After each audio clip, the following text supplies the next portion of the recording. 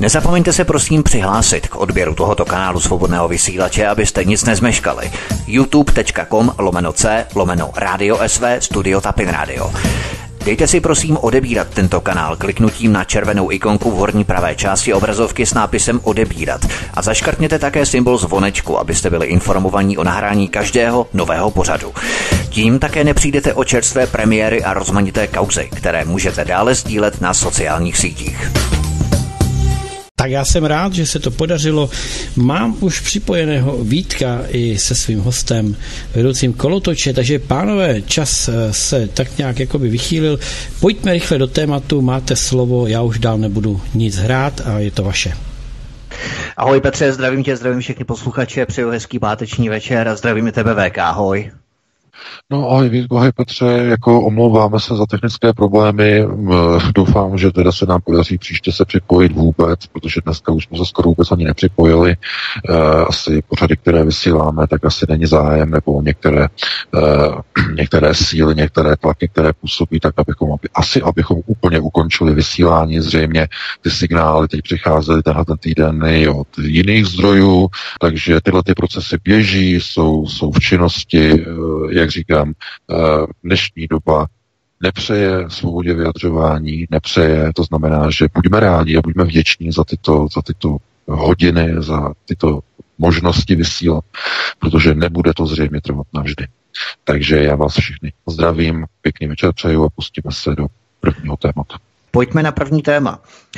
Česko by mělo zastavit testování na COVID-19 v zájmu ukončení paniky a hysterie podněcované Světovou zdravotnickou organizací, vyzývají lékaři. Pozitivně testovaný člověk na COVID-19 nerovná se nemocný člověk. Většina z nás už má na SARS-CoV-2 virus v těle, vyvinutou buněčnou imunitu, tvrdí lékařka Solomouce. Drtivá většina pozitivně testovaných osob nemá žádný průběh nemoci. Do postele ulehnou jenom 2 až 3% pozitivně testovaných osob a navíc z indikací chronických chorob. To je, mnohem, to je mnohokrát méně než u sezónní chřipky, která zažene do postele až šestinu populace. Proč Světová zdravotnická organizace zaútočila na Českou republiku, že málo trasuje epidemiologickou stopu obyvatelstva? Jenomže AstraZeneca zastavila testování své vakcíny AZ1222 na COVID-19 v poslední třetí fázi klinických testů kvůli vážným vedlejším účinkům u dobrovolníků ve zkušební skupině ve Velké Británii. Podle uniklých informací farmaceutická společnost prověřuje propuknutí mozkových mrtvic u několika lidí ve sledované skupině 35 až 45 let věku. Vakcínu si objednala Evropská unie v počtu 300 milionů dávek pro 27 zemí Evropské unie, ale po zastavení třetí klinické fáze je distribuce v nedohledu. Možná bychom VK měli na začátku začít otázkou, proč se AstraZeneca vlastně bojí těch vedlejších účinků, když si u Evropské unie zajistila v podstatě tu jaksi indemnitu takzvanou. No ten důvod je velmi závažný, protože se ukazuje, že jestliže máte farmaceutickou společnost, která eh, vytváří na objednávku, na uzavřenou a podepsanou objednávku 300 milionů dávek vakcín a probíhají závěrečné testy v takzvané třetí fázi klinického testování, tak eh, zastavení takového procesu, toho testování, musí být podloženo nějakými strašnými ukazateli, které naprosto jednoznačně ukazují, že ta vakcína musí být stopnuta, zastavena, musí se zjistit, co se děje. A to oficiální vysvětlení AstraZeneca nedává smysl. Protože to vysvětlení uvádí, že testování ve třetí fázi klinického testování bylo zastaveno prý údajně kvůli jednomu jedinému případu a zhruba dalším dvěma podezřelým případům. Toho klinického testování se účastní na celém světě pro AstraZeneca přes pět tisíc lidí. Prosím. AstraZeneca má své testovací centrum v Oxfordu, ve Velké Británii, testuje se ve Francii, ve Spojených státech, v Latinské Americe, v Brazílii. AstraZeneca testuje na 18 z těch eh, dobrovolnicích. To znamená, eh, to není něco, kvůli čemu. Kvůli, řek, I kdyby to byli ti tři lidé, aby kvůli tomu farmaceutická společnost, která navíc disponuje beztrestnosti a takzvanou indemnitou, to znamená nežalovatelností za případné vedlejší účinky eh, té vakcíny, takže by zastavila tenhle ten eh, proces toho testování těsně předtím, než začne distribuce eh, vakcín zhruba koncem října, začátkem listopadu bylo plánováno, že začne distribuování do všech 27 zemí Evropské unie.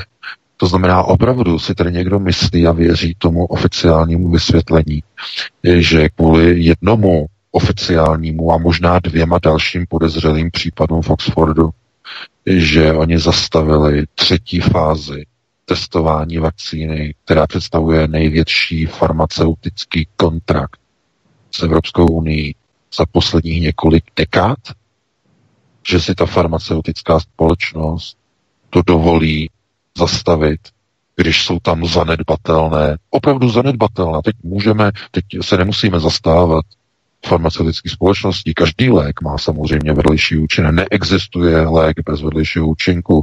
Znamená, máte 10 tisíc lidí a jeden člověk z nich určitě bude mít nějaké uh, vedlejší účinky uh, nebo zaregistruje. To znamená, že oni mají ve svém portfoliu mnoho tisíc lidí a teď u dvou nebo u tří se objeví zkrátka mozková mrtvice. Eh, je to, je, je to validní, nebo je to správné, teda označovat nebo zastavovat třetí fázi testování?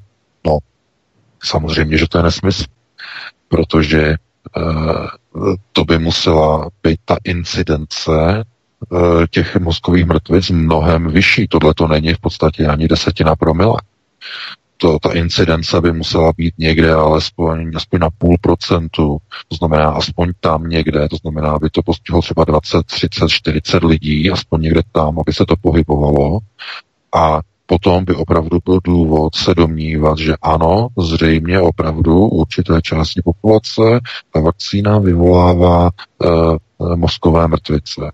To by potom mělo význam. Jenže proč teda oni to zastavili kvůli jednomu jedinému potvrzenému člověku, tam jako, že to je nějak potvrzené, že tam to bylo z nejvyšší pravděpodobností vyvolané eh, vakcínou a u dalších dvou, že to zkoumají, jestli to bylo tou vakcínou, ta mozková mrtvice, znamená kvůli třem lidem. No to samozřejmě nesmysl. Tam se stalo něco úplně jiného. A co jiného? Takže znovu si řekněme fakta. Farmaceutická společnost podepsala s Evropskou unii dohodu na dodávku 300 milionů vakcín. Počátek distribuce je listopad tohoto roku. Smlouva byla podepsána před dvěma týdny. Součástí té podepsané dohody je takzvaná doložka, dokument o takzvané indemnitě. Ta doložka, to je potvrzení Evropské komise, že společnost AstraZeneca Evropské unii, všude tam ve všech zemích, 27 zemích Evropské unie, kde bude vakcína distribuována, ve všech těchto zemích bude mít AstraZeneca právní indemnitu. To znamená, bude společnost AstraZeneca nežalovatelná ze strany kohokoliv. Nebude moci ji zažalovat ani fyzická osoba, koncový uživatel, ani právnická osoba, ani vláda nějaké země z té 27, ani Evropská unie jako celek nebudou smět zažalovat AstraZeneca za vedlejší účinky vakcíny. To je ta indemnita. To znamená naprostá nežalovatelnost a nestíhatelnost. Oni mají tedy v AstraZeneca tento papír k dispozici dva týdny, mají v ruce. Mají uzavřený kontrakt, monster kontrakt na 300 milionů vakcín. A co oni udělají? Oni dva týdny po podpisu zastaví třetí fázi testování a e, distribuce vakcíny je v nedohled. Zase bychom se mohli zeptat, co slučilo? Co se stalo? No, dámy a pánové, oni to neřeknou, ale je to naprosto zjevné. Oni museli stopnout tu vakcínu. Ne kvůli vedlejším účinkům, to je zástěrka, to je zámyk. Oni to museli stopnout, protože ta vakcína z největší pravděpodobností, dámy a pánové, v září 2020 již nefunguje. A AstraZeneca má podepsanou indemnitu pouze na vedlejší účinky. To znamená, nemůže jí nikdo žalovat za vedlejší účinky. Ale může AstraZeneca zažalovat za podvod. Protože pokud se začne tady eh, vakcína distribuovat v listopadu a ono se ukáže, že na ten zmutovaný kmen toho koronaviru, který mutuje tak obrovskou rychlostí, že už nefunguje, že trtivé většině uh, lidí, kteří se nechají očkovat, ta vakcína vytvoří látky a protilátky na ty kmeny koronaviru, které už vůbec neexistují, které zmutovaly před několika měsíci, které naposledy byly v populaci na jaře tohoto roku, možná počátkem léta, tak by se ukázalo, že ta vakcína nefunguje. A lidé, kteří by se nechali očkovat, by si mysleli, aha, my jsme chráněni, my jsme chráněni, my jsme chráněni, to je všechno v pořádku. A oni by šli, oni by si koupili uh, lístek na letadlo do nějaké země, kde po příletu je nutné předložit PCR test a kde se dělají i namátkové PCR testy, protože tak je to nastaveno. Vy sice máte potvrzení o očkování, ale budou se provádět i tak, i s očkovacími průkazy, takzvané náhodné PCR testy. Protože ty PCR testy v podstatě uh, budou nutné k tomu, že není vůbec jasné, jak dlouho ty vakcíny zajistí uh, tvorbu těch protilátek v lidském těle. Oni to vůbec neví a netuší.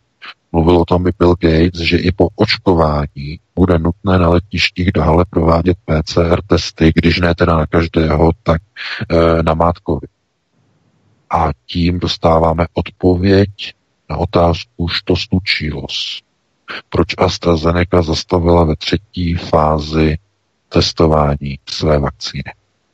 Oni zjistili, že na dnešní uh, jednotlivé vlastně zmutované viry koronaviru už ta vakcína nefunguje. To znamená, není schopná vytvořit protilátky na ty konkrétní kmeny koronaviru, které jsou momentálně mezi lidmi dnes, tedy na podzim 2020. A to je jediné možné vysvětlení, jediný důvod, proč oni kvůli třem lidem de facto zastavili testování ve třetí fázi, což je naprostý totální nesmysl.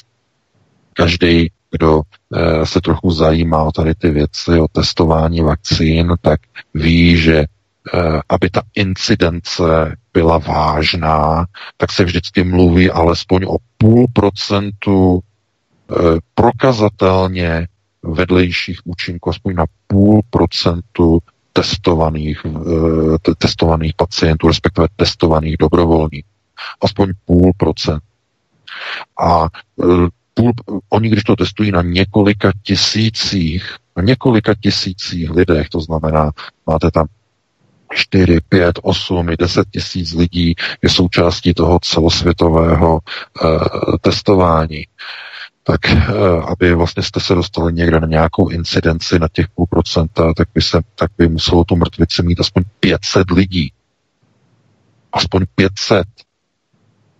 Takže to není naprosto nijak vysvětlitelné, proč oni kvůli třem lidem zastavili v podstatě testování té vakcíny. Jediné, jediné možné vysvětlení je, že zjistili, že eh, kdyby to nestopli teď, tak už by nenašli výmluvu na pozastavení distribuce té vakcíny.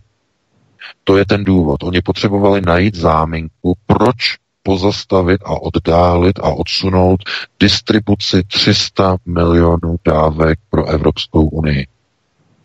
Oni potřebují tu vakcínu e, zmodernizovat, to znamená upravit ji, aby fungovala na současné kmeny, které se nacházejí mezi populací, na ty zmutované, které vypadají jinak, to znamená na ně, aby to fungovalo. Jak rychle se jim to povede, to je ve hvězdách. Uh, oni tvrdí, že jsou schopni do konce roku to jako nějak rychle jako upravit, poupravit, ale uh, pravda je taková, že to pouze ukazuje na to, že oni mohou de facto mít plán na jako na očkování a mít z toho velké vývary a aby farmaceutické společnosti takzvaně dokázaly prostě vytřískat ruské peníze z očkování milionu a milionu a stovek milionů lidí v Evropské unii. To znamená obrovský biznis. Jenže má to jeden zásadní háček. Ta vakcína totiž, když se aplikuje, tak musí opravdu fungovat. Minimálně musí fungovat v tom smyslu, že když se udělá kontrolní protitest, to ten protitest opravdu ty antigeny a protilátky zobrazí a řekne ano, ten člověk má vytvořené protilátky. Pokud ta vakcína to neumí, anebo vytváří protigeny na e, koronavirové kmeny, které už v populaci nejsou, které už neexistují, protože mezi tím zmutovaly, tak ta vakcína nefunguje. A ty PCR testy na těch letištích, ty namátkové testy, to zkrátka odhal. To oni nemůžou připustit. Tím by to celé prasklo celý ten plán na, to, na tu imunizaci, na to očkování těch stovek milionů obyvatel. Zkrátka musí to fungovat. Musí to, ty vakcíny zkrátka vytvářet ty protilátky. Proto oni to zastavili. A e, co to znamená? To znamená, jaký signál to vysílá? No dámy a pánové, vysílá to ten signál, že ten virus mutuje tak obrovskou rychlostí, že po půl roce eh, mutuje takovou rychlostí, že mutuje rychleji, než farmaceutické společnosti stihnou otestovat bezpečnost vakcí. To je něco neuvěřitelné. No a je to samozřejmě velký problém pro farmaceutické společnosti, protože když mutuje ten virus takovouhle rychlostí, tak v podstatě nikdy nebude možné vytvořit vakcínu, která bude fungovat. Protože jestliže začnete dneska vyrábět nějakou jinou vakcínu, tak zase půl roku bude minimálně trvat prostě testování laboratorní zkoušky, první fáze klinických testů, druhá fáze, třetí fáze. To znamená, povede to k tomu, že ty testovací fáze se budou muset brutálně zkrátit. Možná i vypustit. A k čemu to povede? to slučilo? No povede to k tomu, že všichni budou muset nakonec kývnout a říct, hm, musíme přijmout ruskou cestu imunizace. To znamená to, co předvedla ruská farmakologie, to znamená první vakcína na světě, Sputnik 5, eh, která vlastně už je distribuována, ruská armáda vlastně očkována tady tou, tady tou vakcínou ruskou. No ale samozřejmě to je vakcína na starý ruský způsob, je to takzvaná, eh, takzvaná dvoufázová nebo dvouvektorová vakcína, to znamená dvojité očkování. Ty lahvičky se vlastně liší, má, eh, ta jedna lahvička má červenou, červený šput, ta druhá má modrý šput, Eh, to znamená, že ten červený to je, ten, to je ta první dávka, ta modrá je druhá dávka a eh, ta vlastně obsahuje takzvané aktivizační nebo aktivační antigeny, která má vlastně posílit buněčnou imunitu. První látka vytváří e, v podstatě imunitní odezvu, kdy se nastartuje imunitní odezva a ta modrá lahvička e, po 14 dnech při to Eh, druhém vlastně na očkování, tak vlastně posílí buněčnou imunitu. To je klasické očkování, to je stará sovětská škola eh, z 50. 60. let. Takhle se očkovalo i v Československu dvoufázově, klasicky. Eh, u dětí to bylo většinou odsunuté o několik měsíců, znamená to dvoufázové, bylo většinou po půl roce, u dospělých se tam nechávala vlastně nějaká ta limita o 21 dnů, přibližně tři týdny. Takže tohleto je v podstatě klasika. Na západě to nikdy nebylo.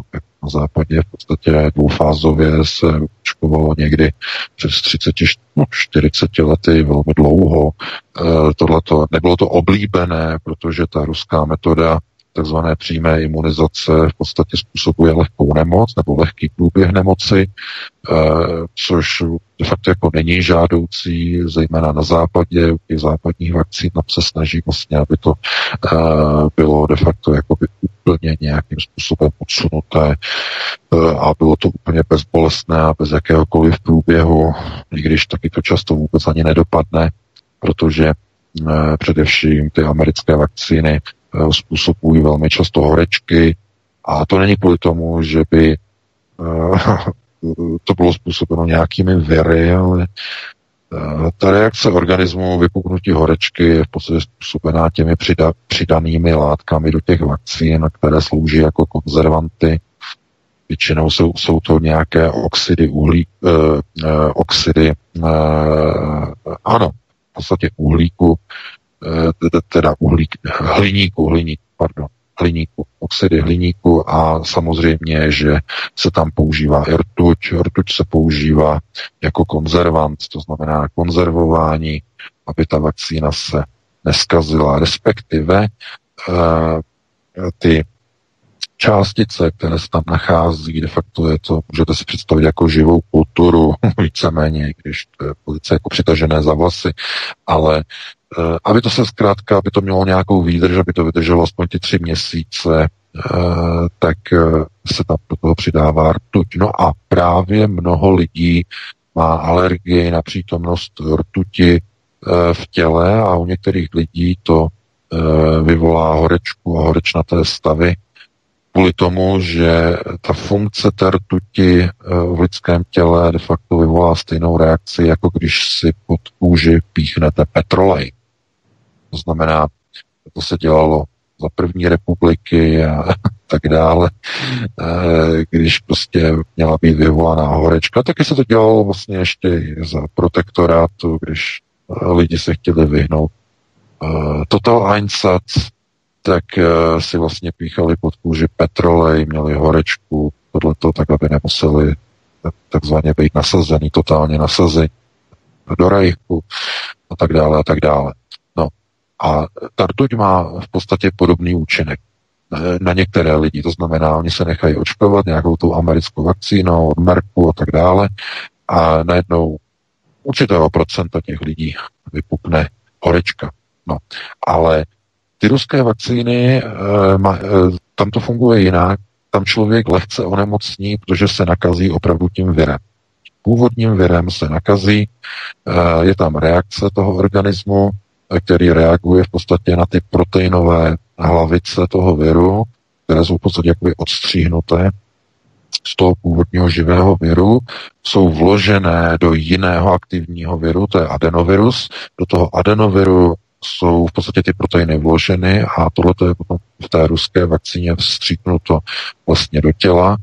A ten adenovirus de facto se chová jakoby transport, jakoby nosič, de facto který je přirozený a vevnitř té buňky se vlastně začínají de facto tvořit uh, viry uh, nebo protein, v podstatě proteinové RNA vlastně uh, části toho, toho viru, proti kterému si má tělo vytvořit de facto imunitní odezvu. Takže pro to lidské tělo je to de facto přirozené, nejsou tam v tom žádné cizorodé látky, žádné chemie typu, eh, typu rtuť nebo typu nějaké oxidy hliníku. Tohle to tam prostě není a z tohoto hlediska jako ty ruské nebo klasické sovětské, raději říkají, klasické sovětské vakcíny jsou mnohem bezpečnější, i když nejsou tak pohodlné. Pohodlnost spočívá v tom, že opravdu dostanete třeba tu teplotu. Máte 37,2, 37,4, klidně máte. Jo, dva nebo tři dny máte prostě zvýšenou teplotu. Ale není to tak, že byste prostě ulehli do postele, že by to s váma šlehlo a měli byste teploty čtyřicítky. Samozřejmě tak to nefunguje, protože ten virus nemá eh, schopnost toho množení, eh, je de facto de- deaktivovaný, ale dokáže de facto se, se kopírovat, ale dokáže se množit více, než mu vlastně umožní ta buňka, která eh, nebo ve které se v podstatě nachází. Takže eh, do, dopadne to vlastně tak, že díky koronaviru i západní farmaceutické společnosti budou nuceny asi zvážit původní sovětskou metodu přímé imunizace a zjistí, že není možné provádět ty dlouhodobé klinické testy, protože když je budou provádět, tak znovu se bude opakovat na ten problém. To znamená, že budete dlouho testovat, dlouho testovat v rámci klinických testů a nakonec se ukáže, že mezi tím eh, v rámci obyvatelstva se objevil nový kmen, eh, nový zmutovaný kmen koronaviru a že ta vaše vakcína už bude úplně k ničem. To znamená, bude to tlak na farmaceutické společnosti zkrátit dobu testování. A po... Tak, To Máme je, to je jenom, tři témata jenom chci, jo? Jasně, já jenom chci říct, že to je prostě velice zákeřné, protože to může vést, přesně tahle situace, může vést ještě k, jedn, k jedné reakci západních farmaceutických společností. K jedné zásadní reakci, která vás možná napadne. Bude to výmluva na zkrácení dobu testování bezpečnosti vakcí. Oni řeknou, ten virus mutuje tak rychle, že sorry, buď nebude žádná vakcína, nebo to budeme dělat stejně jako Rusové. Nebudeme testovat vůbec. Nebo jenom minimál. Jenže pozor, rozdíl mezi tou ruskou a západní vakcínou je nebe a dudy. Ta ruská vakcína používá metodu přímé imunizace, nemá tam žádné konzervační látky, nemá tam nic, nemá tam eh, žádné buňky z prasat ani z opic, to jsou ty nosiče, které používají západní vakcíny. To znamená, je to buňka z prasete, na její povrch jsou přidány v podstatě proteinové částice toho viru a de facto dostáváte do těla jakéhosi Frankensteina v rámci té západní vakcíny. Máte v sobě buňku z prasete, ale jenom na povrchu jsou v podstatě ty tyčinky toho původního proteinu, te, toho proteinového tělíčka, ty tykadla toho původního virusu tam přilepený, jakoby přilepený. A na, na bázi toho si potom tělo má vytvořit imunitu, jenže ta prasečí buňka, nebo ta opičí, nebo ta krysí buňka, to jsou třeba ty vakcíny Merck proti chřipce, používá nosiče z krysy domácí, uh, společnost Merck. Znamená, ty buňky z krysy vám zůstanou v těle. A co udělají za 20 let ty buňky z krysy, které máte v těle? To jsou chuťovky, panečku. To znamená, je velký rozdíl mezi západníma vakcínama a těma bývalýma sovětský. Ty jsou bezpečné. Proto eh, se budou dělat zájezdy eh, do Petrohradu, eh, budou se dělat do Voroněže zájezdy ze západních zemích, už se to pořádá, i tady v Německu se pořádá, se to chystá, že se budou dělat zájezdy na, na, na očkování ruskou vakcínou. Já říkám ruce pryč od západních vakcín, ruce pryč to, co se tam nechá, to, co tam plave v těch vakcínách, to je něco neskutečného. Takže takhle bychom to uzavřeli, máme eh, spoustu dalších témat a jdeme na další. Pavel Novotný odsunul českého ministra zahraničí Tomáše Petříčka bokem a převzal řízení zahraniční politiky. Napsal čínskému ministru zahraničí Wangovi prostý a vulgární dopis, který otiskla dokonce i média na Tajvanu. Čínský ministr má prý poslat Petříčkovi na ministerstvo omluvný dopis a to prý fofrem. Pavel Novotný v dopisu naznačuje, že jedná v zastoupení českého ministra zahraničí, který prý má na Peking stejný názor jako Novotný, akorát, že musí, musí držet hubu. Na oficiálních stránkách Českého ministerstva zahraničí není ani po týdnu žádné tiskové dementy a Peking prověřuje, jestli Pavel Novotný opravdu pracuje v zastoupení Českého ministerstva zahraničí. Eh, VK dělá Pavel Novotný předem plánovanou špinavou práci, aby ty vztahy s Čínou, eh, České republiky s Čínou rozdrbal, podobně jako Andrej Babiš ve vztahu k Bělorusku. Je to úplně obdobná situace. No, samozřejmě, že to je, ale já bych tady ještě připomněl, že se povedlo uh, de facto tu situaci tak trochu ještě zachránit. No, hlavně teda v tom loboval tady Volkswagen, který uh, v počátku týdne uh, vyslal delegaci do Pekingu. Nevím, jestli to bylo v českých médiích, ale Volkswagen měl jednání v Pekingu kvůli té situace de facto s českými firmami, aby nebyly zastaveny exporty českého Eniaku do Číny.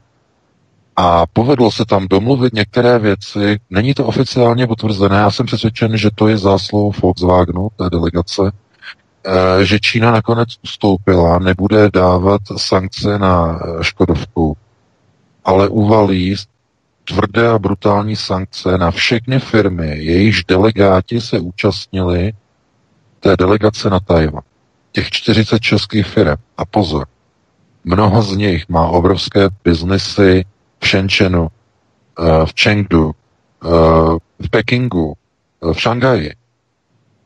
Jsou velké firmy. To, ale Škodovka mezi nimi není. To znamená, a, a, rozumíte, tohle je, tohle je, to je vysoká politika.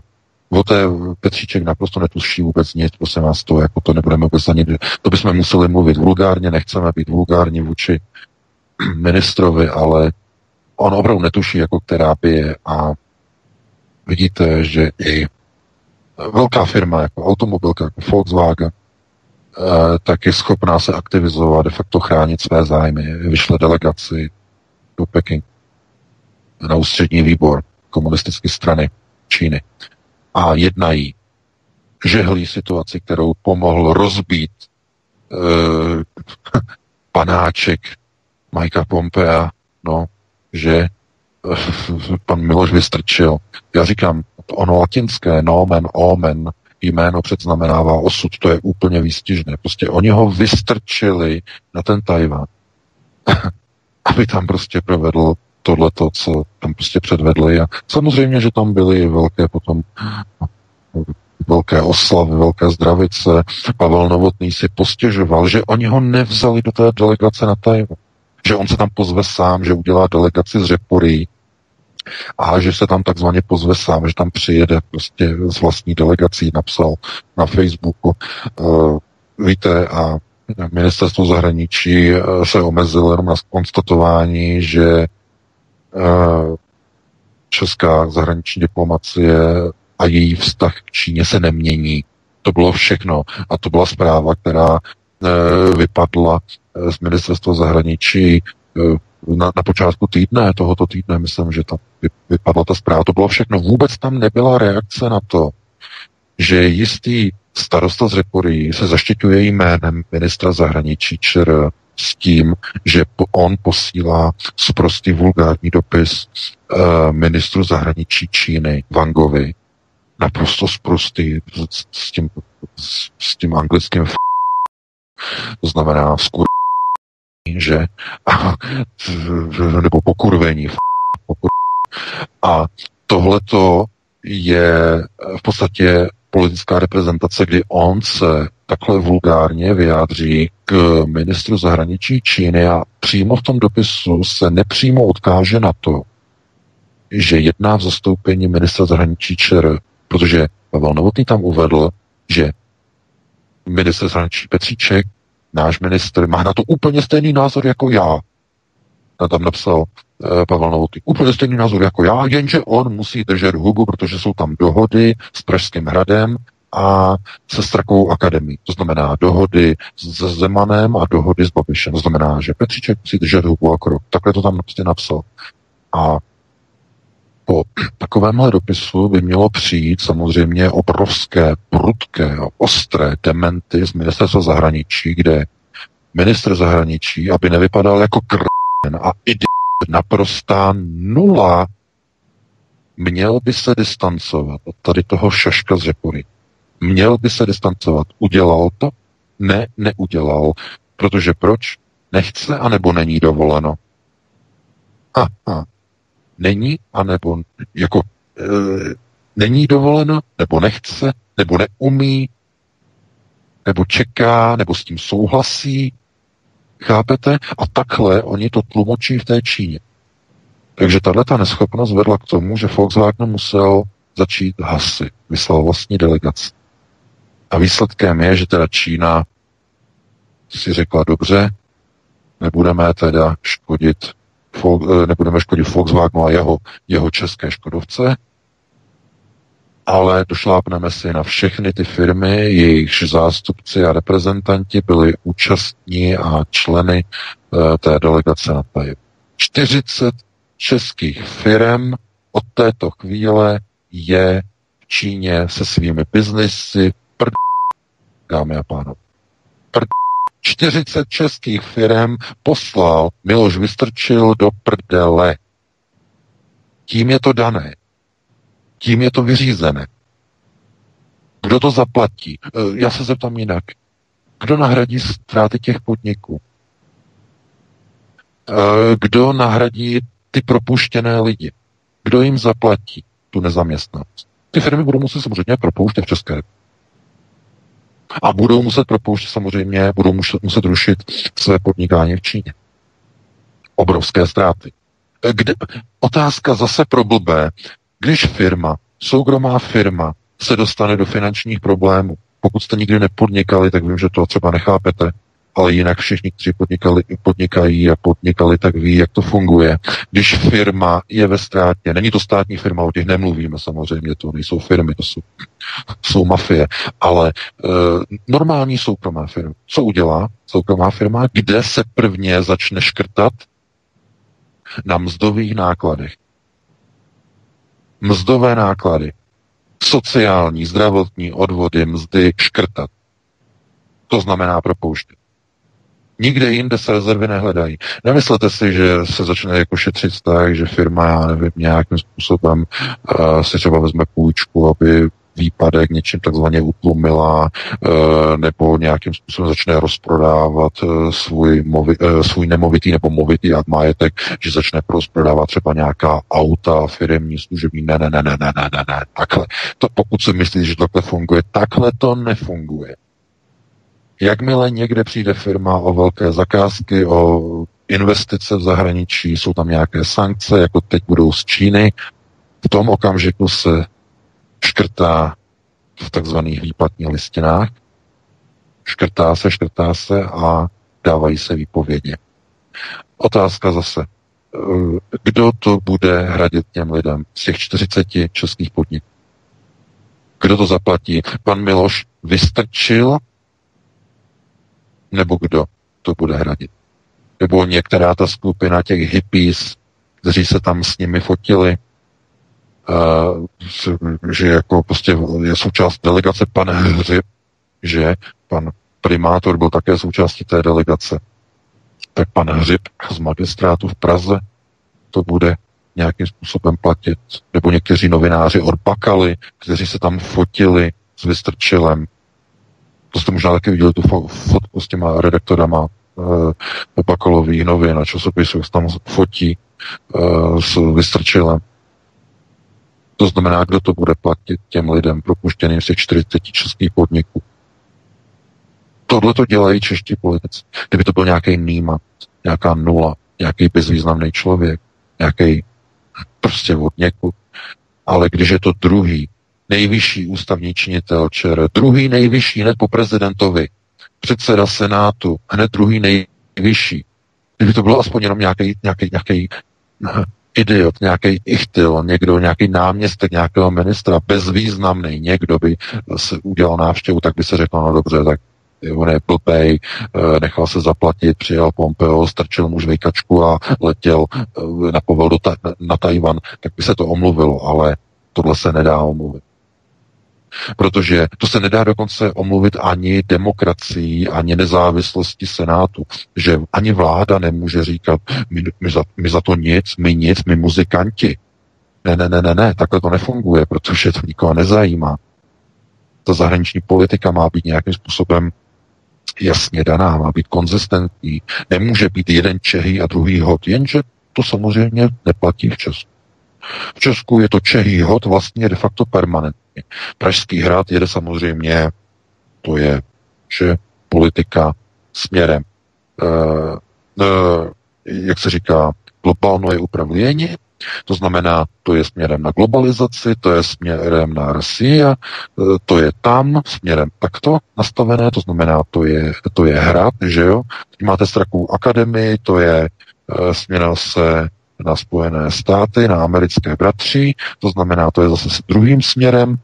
Teď je tam skupinka lidí, která to vlastně nechce ani tak až moc na ten západ těm američanům, nechce to zase až tak moc na východ těm Číňanům a Rusům a chtějí zase něco jiného a chtějí Evropskou unii pod kuratolou, uh, jak se říká, do znoje Evropa.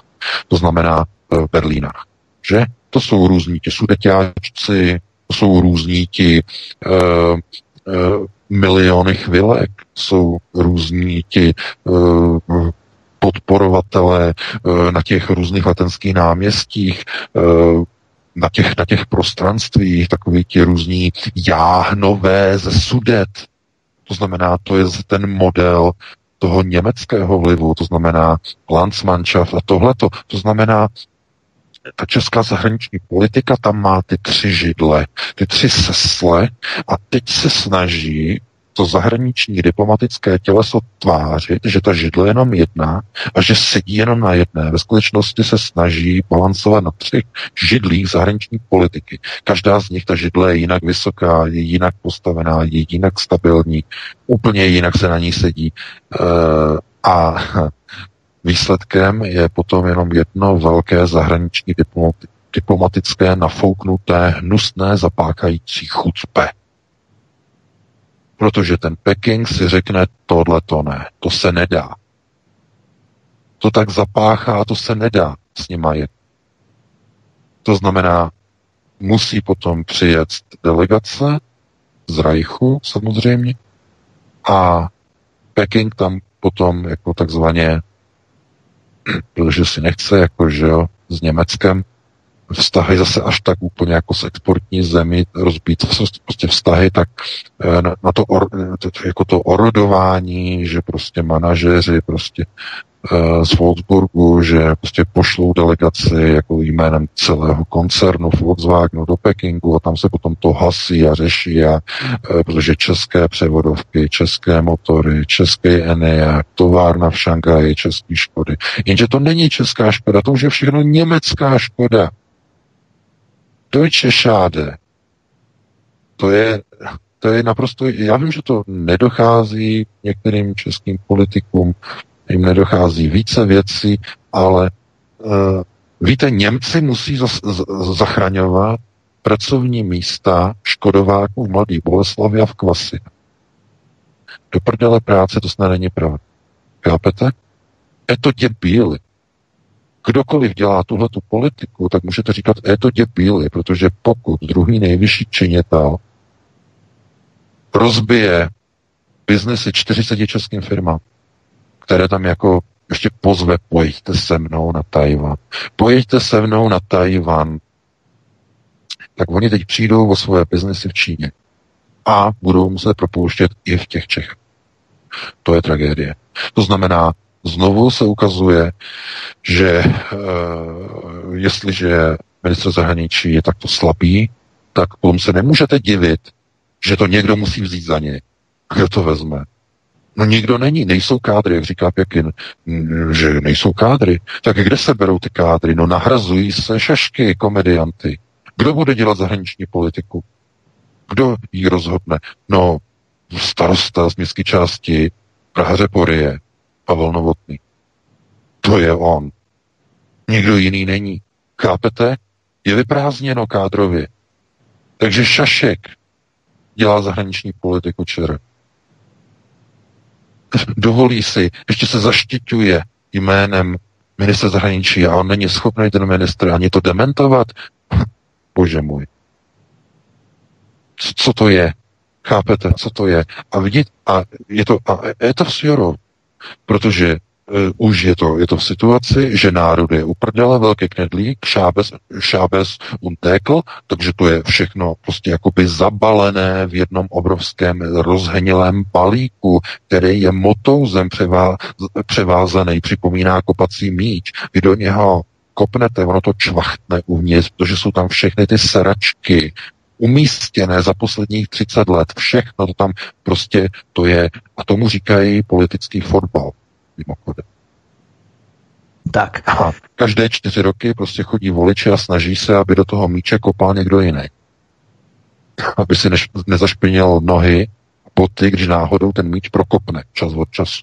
Dostane mu to na, na, na bota.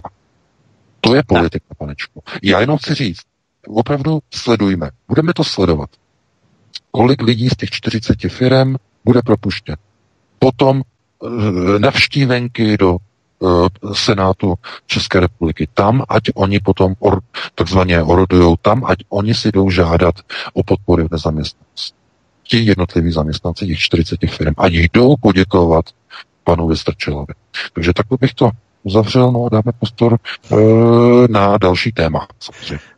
Jasně, já bych jenom dodal v rámci těch 40 borců, manažerů, co jeli na Tajvan, tak tam už s tím rizikem prostě jeli, že mohou takto eh, dopadnout v rámci jejich firm a spali se tam, no tak eh, na to dojeli. No tak eh, zase na druhou stranu, jako co je jako za problém? Oni tam prostě dobrovolně jeli, nemuseli, věděli, co to může mít za konsekvence a spali se tam nedomocí, no tak, tak na to dojeli, no tak jim to patří zase na druhou stranu, i když to odnesou ti jejich zaměstnanci, že jo.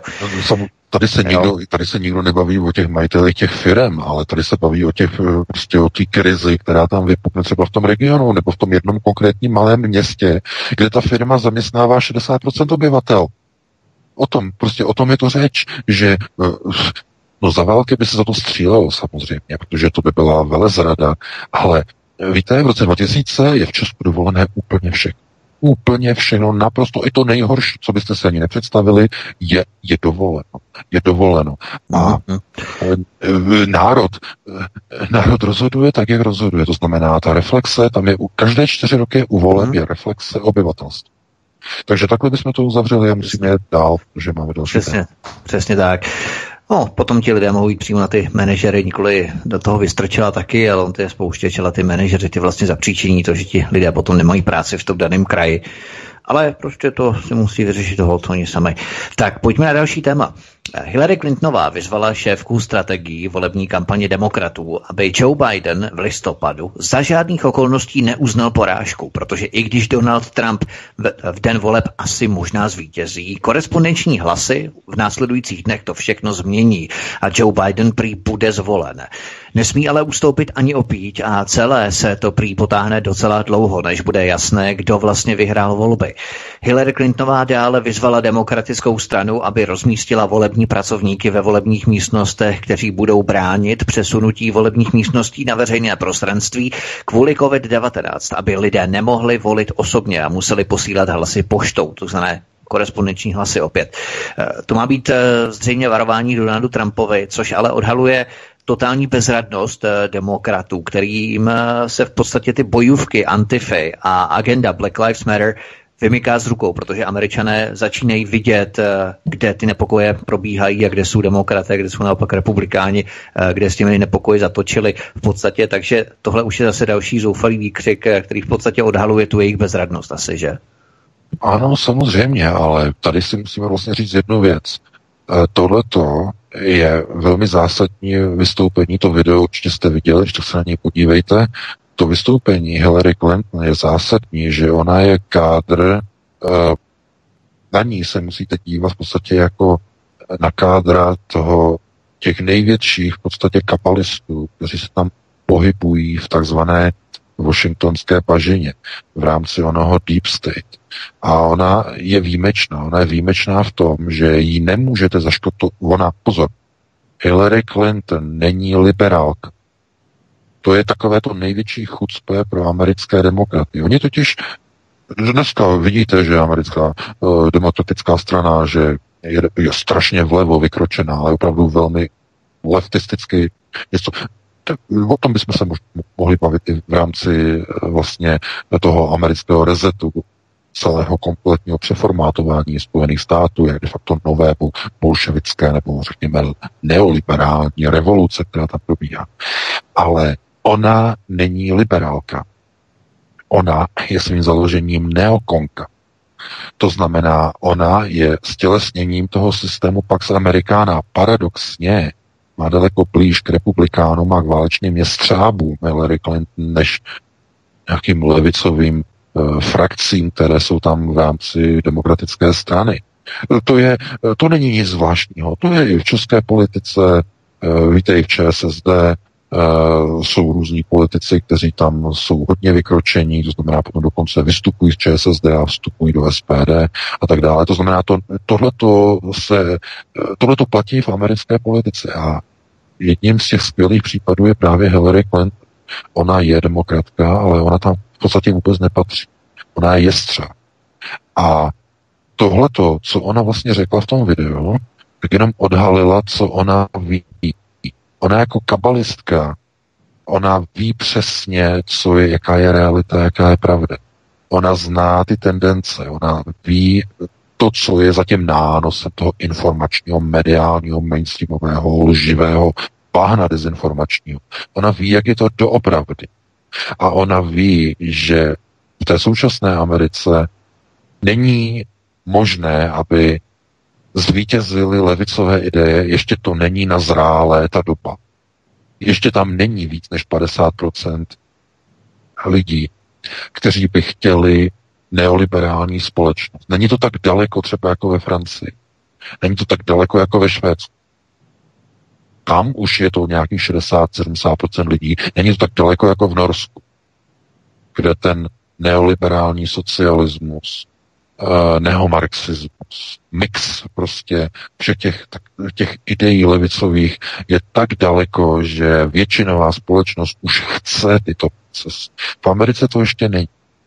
A ona to ví, Hillary Clinton. To znamená, ona ví, že jak budou volby 3. listopadu, takže zvítězí Donald Trump. Teď se hledají procesy, jakým způsobem tu volbu spochybnit, jakým způsobem zmanipulovat ty volby a jakým způsobem zajistit, že se bude hlasovat korespondenčně, což půjde manipulovat a nikoli v osobě. Možná jste dneska zaregistrovali, že nejvyšší soud státu Wisconsin zastavil distribuci volebních lístků pro korespondenční hlasování. To znamená velká výhra republikánů, to znamená ve Wisconsinu nejvyšší soud zastavil distribuci eh, hlasovacích lístků pro poštovní hlasování, protože se bude zjišťovat, jestli náhodou to nejde nějak zmanipulovat. Eh, to je to velký boj samozřejmě. A eh, Hillary Clinton, ona myslím si, dostala velkou lekci v roce 2016, kdy ona byla neustále ujišťována, že vyhraje, že to má v kapse a asi zřejmě neposlouchala tehdy eh, ty signály, které v podstatě říkali, že je to celé úplně jinak. Eh, Oni ji použili, oni ji využili a ona možná zjistila, eh, že ona byla jako kandidát zvolená úmyslně, protože neměla šanci proti Donaldu Trumpovi. Byla zatí, zatížena strašnými obrovskými skandály všechny ty její napojení na Saudskou Arábii a ty její uniklé e-maily a tak dále a tak dále. To znamená, ona, i kdyby ty e-maily neunikly, tak by měla obrovské problémy, prostě aby měla, aby získala hlasy takzvané té americké střední třídy, která mimochodem jí nesnáší, oni ji nenávidí.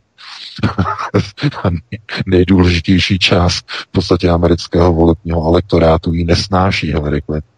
Ona je nastavená způsobem, že je v podstatě na, eh, na té levé straně toho liberálního spektra, ona stojí úplně maximálně vpravo.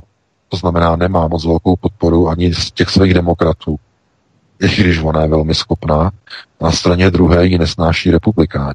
To znamená, ona de facto je tak jakoby vyosená, e, trochu jako mimo a z toho vlastně pramení ten důsledek, že ona nebyla schopná vyhrát ty volby, protože neměla podporu eh, de facto, řekněme, těch eh, svých vlastních eh, voličů v rámci tzv. té americké střední třídy, protože ona reprezentuje všechno možné, jenom ne tu střední třídu Hillary Clinton.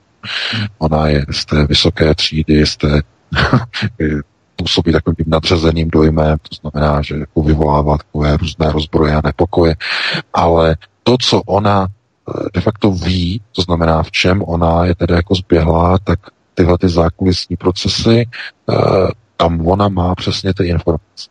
A tohle to, co ona udělala v tom videu, tak de facto si při, ona si připravuje zázemí, zázemí pro porážku Joea Bidena 3. Eh, listopadu, aby se mohl říct, že takto že eh, je to zmanipulované, republikáni to zmanipulovali a musí se počkat, až se sečtou volební hlasy eh, takzvaného korespondenčního hlasování. Na to oni spoléhají, že se podaří v těch klíčových státech, takzvaných battleground states, to znamená v těch zhruba sedmi nebo devíti státech, kde se rozhoduje, eh, kdo vyhraje volby, tak eh, tam, že v podstatě ty korespondenční hlasy takzvaně převáží pro Joe Bidena. No a ty hlasy se můžou sčítat až měsíc. Ne týden, ale až měsíc.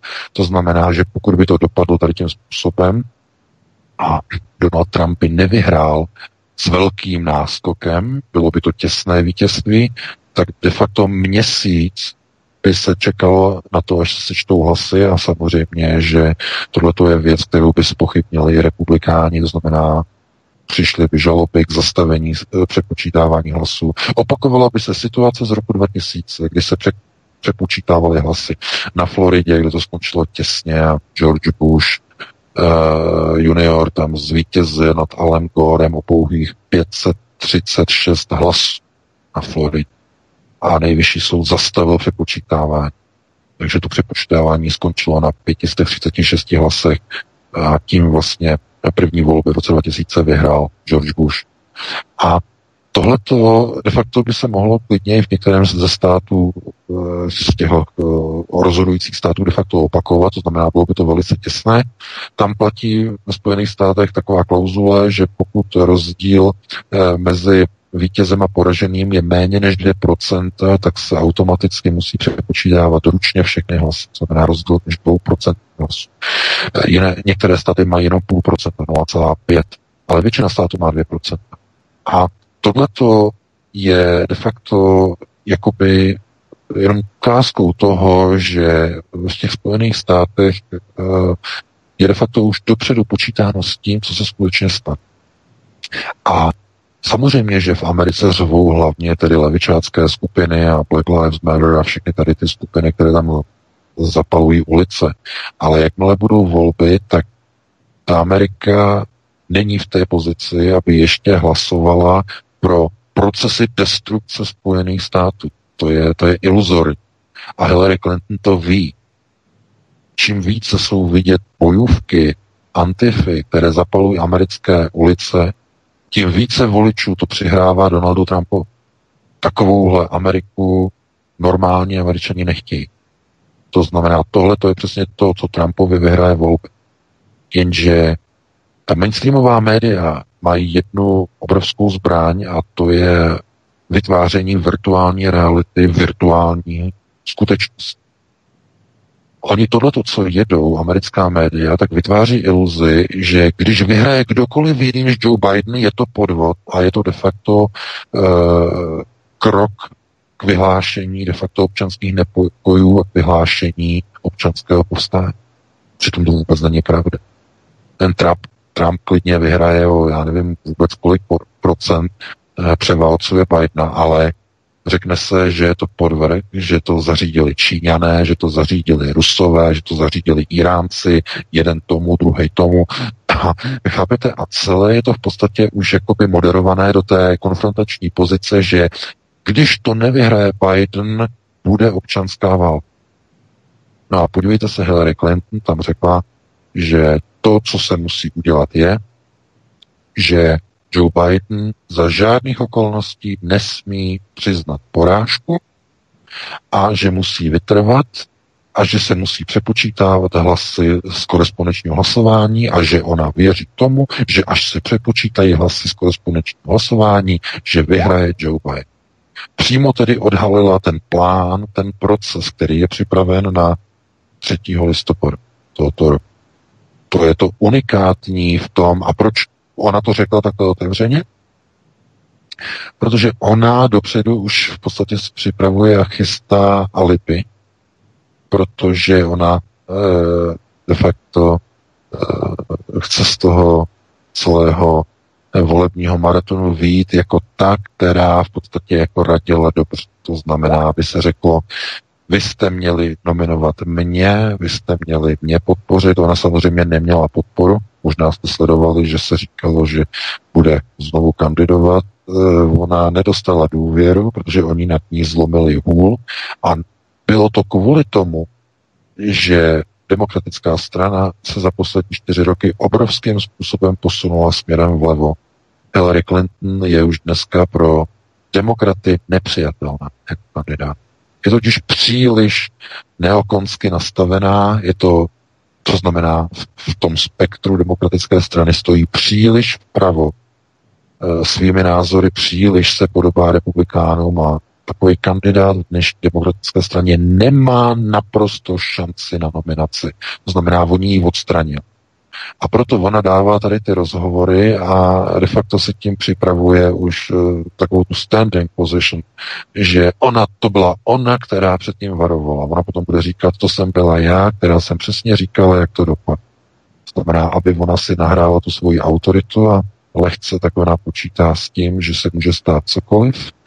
Ukáže se, že Joe Biden byl úplně neschopný, že ta, že ta kandidátka s Harrisovou byla úplně mimo oni nebudou mít nikoho jiného. Oni se začnou rozhlížet a budou si říkat, aha, no jo, a koho tam dáme teda příště? A oni tam uvidí znovu tu Hillary Clinton. To znamená, nemyslete si, že ona překousla tu porážku v roce 2016. Ona jenom, ona, ona bude znovu chtít být nominovaná, jenže ona k tomu potřebuje podporu vlastní strany, kterou momentálně ne. To je něco podobného, jako když třeba uvnitř ČSSD a nebudeme asi jmenovat, chtěli být jmenováni jako předsedami, nebo eh, v podstatě jako dostat se na místo předsedy ČSSD, neměli podporu, měli dobré názory, neměli podporu. Něco podobného bylo i uvnitř KSČ, eh, dobré názory, třeba pan Skála, dobré názory, ale nedostal se, protože ta podpora tam prostě není, tam prostě tam nebyla.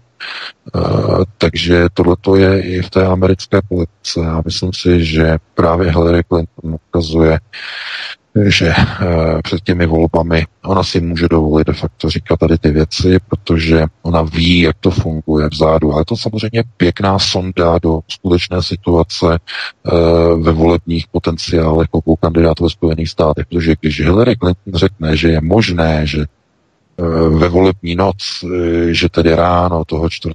listopadu, že bude mít více hlasů eh, takzvaných, takzvaného sboru volitelů Donald Trump, to znamená, že vyhraje, tak to o něčem hovoří. To znamená, to není ten entuziasmus, který by říkal, uh, Donald Trump je neschopný, nemá šanci vyhrát, Joe Biden vyhraje. Vidíte, přímo bývalá kandidátka, která tím procesem prošla, to říká naprosto otevřeně. Je velmi pravděpodobné, že Donald Trump 3. listopadu vyhraje. Velký šok samozřejmě pro demokraty. Pro tu dámu, šéfku té uh, kampaně, respektive strategii, která dělá strategii pro volební kampaň, tak uh, s ní byla vlastně v tom onlineovém rozhovoru a ta byla úplně z toho zděšená, co Hillary tam vlastně říká, co tam naznačuje, ale bylo na ní vidět, že Hillary Clinton je taková hodně jako přejetá, že moc příliš tomu ani nevěří, co sama říkala. Znamená, že musí být silní, Joe Biden nesmí uznat porážku a tak dále. Ono to bude velice těžké neuznat porážku, když eh, Trump třeba vyhraje o nějakých 20-30 hlasů volitel. To znamená, tam těžko neuznáte něco. To by muselo být velice těsné, maximálně těsné, možná rozdíl jednoho, dvou hlasů, jednoho státu, nějakého malého, kde by se vlastně rozhodovalo mezi jedním druhým. Tam ano, samozřejmě. Tam eh, by to vycházelo jako asi logicky, ale eh, jak je vidět, zřejmě ani Hillary Clinton s tím nepočítá. To znamená, dává pouze šanci tomu, že výhra je možná pouze za, za toho předpokladu, že bude použito korespondenční hlasování. Teprve po přepočítání ona věří, že Joe Biden zvítěz. Až po přepočítání hlasů korespondenčních hlasujících. To je přesně uvedeno v tom videu. Takže já, pokud jste to neviděli, tak se na něj podívejte, je to opravdu zajímavé, eh, je to všeříkající, no a my se pustíme ještě do jednoho tématu. Pokud hlavní roli nebude lesba, homosexuál, transexuál, černoch, žena, aziat nebo hispánec, na Oscary od roku 2024 zapomeňte, vzkazují filmovým studijním akademici. Akademická filmová akademie právě zasadila Hollywoodu smrtelnou ránu a ukončila stoletou vládu amerického filmového průmyslu. Ten se stěhuje nově do Číny a do Indie. Americká kina zejí prázdnotou, banky, pardon, braky na braky z Hollywoodu chodí čím dále tím méně Američanů. Get Vogue, Go Broke Bro. Netflix překročil čáru a natočil celovečerní film pro děti propagující pedofilní sexualizaci dětí. Možná bychom měli VK začít od konce. Právě tady je zajímavé, u nás se mele pantem pořád o tom dokumentárním filmu v síti, všichni jsou z toho na prášky, jak je to hrozný, co se něco podobného odehrává a tak dále. Ale že Netflix natáčí film, který propaguje pedofilní sexualizaci dětí, to nikomu nevadí a o tom ti tvůrci toho dokumentu v síti neceknou ani slovo. Jak je tohle možné? V podstatě, že se tady protěžuje jeden jakýsi směr, není to pouze tato izolovaná ojedinělá událost. Eh, víme to třeba, jakým způsobem eh, se to zveřejňuje třeba i ve skandinávských zemích a tak dále, pedofily, pedofilizace, nebo jak bych to řekl, dětí a různé ty deviace s dětmi a tak dále. Vydávají se o tom i knížky a tak dále a to je, to je naprosto v pořádku. No, ohledně toho filmu v síti, eh, já bych tomu řekl jenom to přísloví, že káže vodu, pije víno. To je přesně ten příměr, to znamená, eh, oni na jedné straně se snaží, to znamená přinést na to filmové plátno nějaké, nějaký šokující snímek, nějaké šokující záběry z toho, jak to funguje a uh, ti sexuální predátoři, jak prostě útočí na ty nezletilé děti a tak dále a tak dále, ale chápete, to je podstatě jenom jedna strana té mince. Na té druhé straně mince je Netflix, globalistická společnost, která odvysílala ve středu uh, ten film Cuties od francouzské režisérky. A v tom filmu uh, to je legalizovaná pedofilie určená pro uh, pedofily, protože nikoho jiného to nemůže oslovit. Tohle to nemůže oslovit ani tu konkrétní mládež. No, nebo možná, že asi může. Možná, že ano, protože když se podíváte na sociální síť TikTok, ta čínská síť na nahrávání těch, těch krátkých videí, to, to, ta děti tam prostě si natáčí krátký, teď nevím, jestli 15 sekundový nebo kolika sekundový videa, nějaký tančení a tak dále a tak dále. A de facto tohleto, tenhle ten film Cuties přímo jako míří asi jako by na tady tu mládež. Ale problém je v tom, že způsob, jakým je to natočený, to není film pro děti. Film pro děti by to byl, pokud by to bylo z pohledu dětí točen. Nikoli z pohledu dospělých osob, které vidí uh, v nezletilých dívkách objekt sexuálního zájmu. To je ta posunutá poloha. To je eh, v tom, jako v tom filmu jde o to, že vlastně ta muslimská dívka to žije s tou matkou. Uh, ona chce, holka chce tancovat uh, hip-hop, ale takový ten twerking, to vrtění tím zadkem, to znamená to, to co je moderní.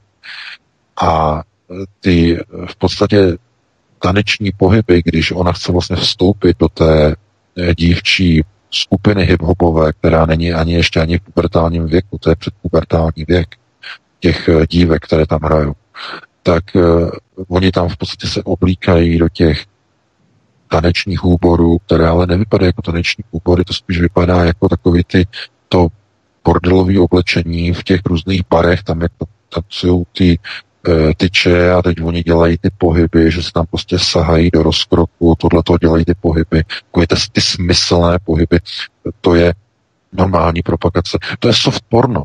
To je soft porno. Když půjdete na Pornhub a budete tam hledat něco podobného, a to je největší brutalita. Tohle tam nenajdete protože tam mají zase limity, tam musí být všechno 18 let plus a tohleto a maximálně jako, jako takzvaně preteens, tam prostě to nemůže, může třeba vypadat, že někdo je mladý, ale e, tam jsou zase na to zákonné limity. Ani tam si to nedovolí, chápete? Ani tam to nemůžu. Ani na tom Pornhubu to není. A Netflix to odvysílá. To, obr, obrovský skandál je z toho. Víte, ale proč? No, dámy a pánové, Netflix předvedl vypuštění macatého, nosatého, chucpatého balónku. To znamená, nafoukli chucpe do podoby balónu, vypustili a teď čekají na odezvu. Jak velký hřev se ozve. Proč to udělali? Oni můžou. Oni jsou Netflix. Oni můžou všechno. Samozřejmě židovská organizace založená úplně židovským podnikatelem. To je Netflix, to je známá věc. Tohleto. Ale Chápete? Eh, v tom filmu je jedna zásadní věc. Eh, jsou tam v podstatě vykreslovány eh, děti jednotlivých ráz. Oni jsou tam v podstatě jako v tom filmu jako v podstatě jako muslimky, ale ty herečky, ty dětské herečky pocházejí z muslimských rodin. Jo, z muslimských. Na Darknetu je už na ně, na tu, na tu um, režisérku vyhlášená fatva od poloviny týdne. Fatvu vyhlásil. A prostě to je něco neuvěřitelného. A je tam bílá dívka a je tam ta černoška a je tam i ta vlastně arabka, je tam i ta, ta čtvrtá, vlastně ona je také vlastně arabka. A tyhle ty tam vlastně jsou, tyhle ty čtyři. A když se vlastně na ně podíváte, tak vlastně zjistíte jednu zajímavou a zvláštní věc. Tady v těch filmech nikde není představeno nebo nefiguruje tam nějaký zástupce, který by představoval prostě ještě jedno etnik. Že by tam bylo nějaké židovské dítě. To znamená nějaké izraelské, židovské, typické. Není. Proč? Protože není dovolen. V těchto filmech a v této programovací propagandě není dovoleno vyobrazovat děti uh, židovského národa jako předměty nebo objekty nějakého sexuálního zájmu, nějakého zneužívání. Proto jsou tam jenom běložky, černošky, aziatky, arabky. To znamená všechny jiné gojské národy nebo děti gojských národů jsou tam vyobrazeni jako co? A teď jako co? Jako tanečnice? Nebo jako štětky, šlapky, e, objekty sexualizovaného zájmu. To znamená, jakým způsobem? Jak tam ty děvčata tancují? No, kdybyste řekli před rokem 89, dívky chodí do tanečního klubu a tancují, tak byste očekávali, že tam tancují e, polku, valčík, tango, valc, to znamená normálně prostě e, skupina taneční, že jo. A kdyby to bylo jako hodně odvážné, tak by se řeklo, že tam prostě e, dělají třeba nějaký moderní tance, to znamená, řekněme, e, takové ty e, napojení třeba bylo i před rokem 80, když si možná pamatujete, tak e, bylo vlastně spojením v podstatě s tělesnou výchovou, takzvaný aerobik, připojené a spojené vlastně s hudbou, Eh, de facto to byl velký trend kdysi, no a potom to plynule vlastně přešlo z toho aerobiku do těch moderních tanců, které už nemají v podstatě s tím sportem nic společného, ale přešlo to vlastně do toho sexualizovaného zájmu. To znamená, ty moderní tance de facto dneska už představují jakoby eh, model těch tanců u těch eh, parových tyčí. To znamená, když se podíváte na ten film Cutie, je strašný, oni tam ty holky se na, nakrucujou, se tam prostě jako sahají mezi nohy a tohle to všechno jako tak lascivně takovým způsobem, že to nemůže oslovit jejich vrstevníky, to je určené pro dospělé lidi ten film. To není od 15 let, jako tam je, to prostě není vůbec od 15 let. Tohle to je film, který prostě e, propaguje prostě soft porno. Tohle to nenajdete ani na tom Pornhubu v sekci fetiš, ani tam to nenajdete, protože tam taky jako mají tady ty tanečky, ale to jsou normálně dospělí ženský, že se prostě e, navlečou do bordelových šatů a potom tancují na nějakou hudbu. A vy zjistíte, že to je úplně to samé, co je v tom filmu Cutie s těma malýma nezletilýma holkama. Úplně ty samý taneční pohyby rozkročené nohy, ona tou rukou od těch vlasů dolů až do rozkroku jako si, a potom jako na tu hudbu se roztahuje ty ruce, jako, je to jako synchronizované, to je přesně ono. No, tak v Americe jsou z toho lidi úplně mimo to, prostě tam je dokonce petice. 200 tisíc lidí v Americe podepsalo petici za 24 hodin na zrušení Netflixu za uveřejnění tohohle filmu. To znamená obrovský skandál, obrovský poplach. Ale eh, nikdo žádný Netflix zrušit nebude. Tohle to zkrátka byl vyslaný balónek, dámy a pánové. Balón. Balón, macatej, chucpatej balón, nafouknutý až prasnutí a teď oni sledují, jak moc do něho se veřejnost bude svojí kritikou strefovat. Ono, když to přesáhne nějakou úroveň, tak oni ten film stáhnou když bude ta kritika dál pokračovat dalších pár dnů, ten film bude stažený, to vám garantuju. Ale pokud ta kritika opadne, oni ho tam nechají. A dají tomu nějaký čas a za půl roku přijdou s dalším filmem. S mnohem už brutálnější. To už může být film, který tam ukáže úplně všechno. To znamená, bude tam třeba jenom nějaký přestřih a bude tam třeba nějaké znásilnění To znamená, nějaká bílá dívka bude znásilněná černým chlapem. Skoro dospělé. A aby to nebylo úplně až moc hardcore, tak bude skoro dospělé. To znamená, ne, pozor, pozor, nemyslete si, že oni tohle to neskouší. Oni neustále nafukují balóny, neustále je vypouští a neustále testují veřejnost, co všechno si můžou k ní dovolit. Netflix je laboratoří globalizace. Ty sračky, které tam oni prostě uh, pouští, uh, ty seriály, které uh, chrlí jeden za druhým, Uh, jsem byl taky upozorněný zase na další seriál, se jmenuje Away. Uh, prostě znova tam je se genderová agitka, že jo, ženský to tam všechno řídí, feminismus, ona řídí misi někam na Mars, její chlap je úplně neschopný, protože je nemocný, ještě v infarktu, uh, tam ten jeden vyznává Talmud, v té posádce a tak dále, to je, to je, to je strašný. Chápete? Tohle to jede Netflix. Takže jsou výzvy k bojkotu, aby lidi rušili svá předplatná na Netflix, protože tohleto už překračuje úplně všechny meze. To je programovací e, platforma jako řemen. To nemá vůbec nějakým streamem nic společného. A když se podíváte, tak to jsou prostě seriály, které jsou úplně, úplně na hlavu, které propagují prostě uh, binární uh, nebo non-binární status prostě pro mládež, prostě, že ona eh, to je zase nějaký jiný seriál, že ona má nějaký problémy, cítí se jako kluk, narodila se jako holka, tam chodí do nějaké té školy a oni tam nějak jako šikanujou tohle, to je prostě celý a prostě ona sebe dělá prostě jako já nevím, Ibermensch a, a tak dále. To znamená, tohleto všechno oni cpou skrze ten Netflix do hlavy té mládeže a, on, a je toho stále více a více a více a utahují ty šrouby mnohem a mnohem a mnohem více, více stuha. To znamená, že zatímco třeba před tím rokem tam byly jenom nějaké takové náznaky nebo taková ta agitka, taková ta nějaká ještě, eh, co se dalo jako zkousnout, tak v roce 2020 už tam je soft porno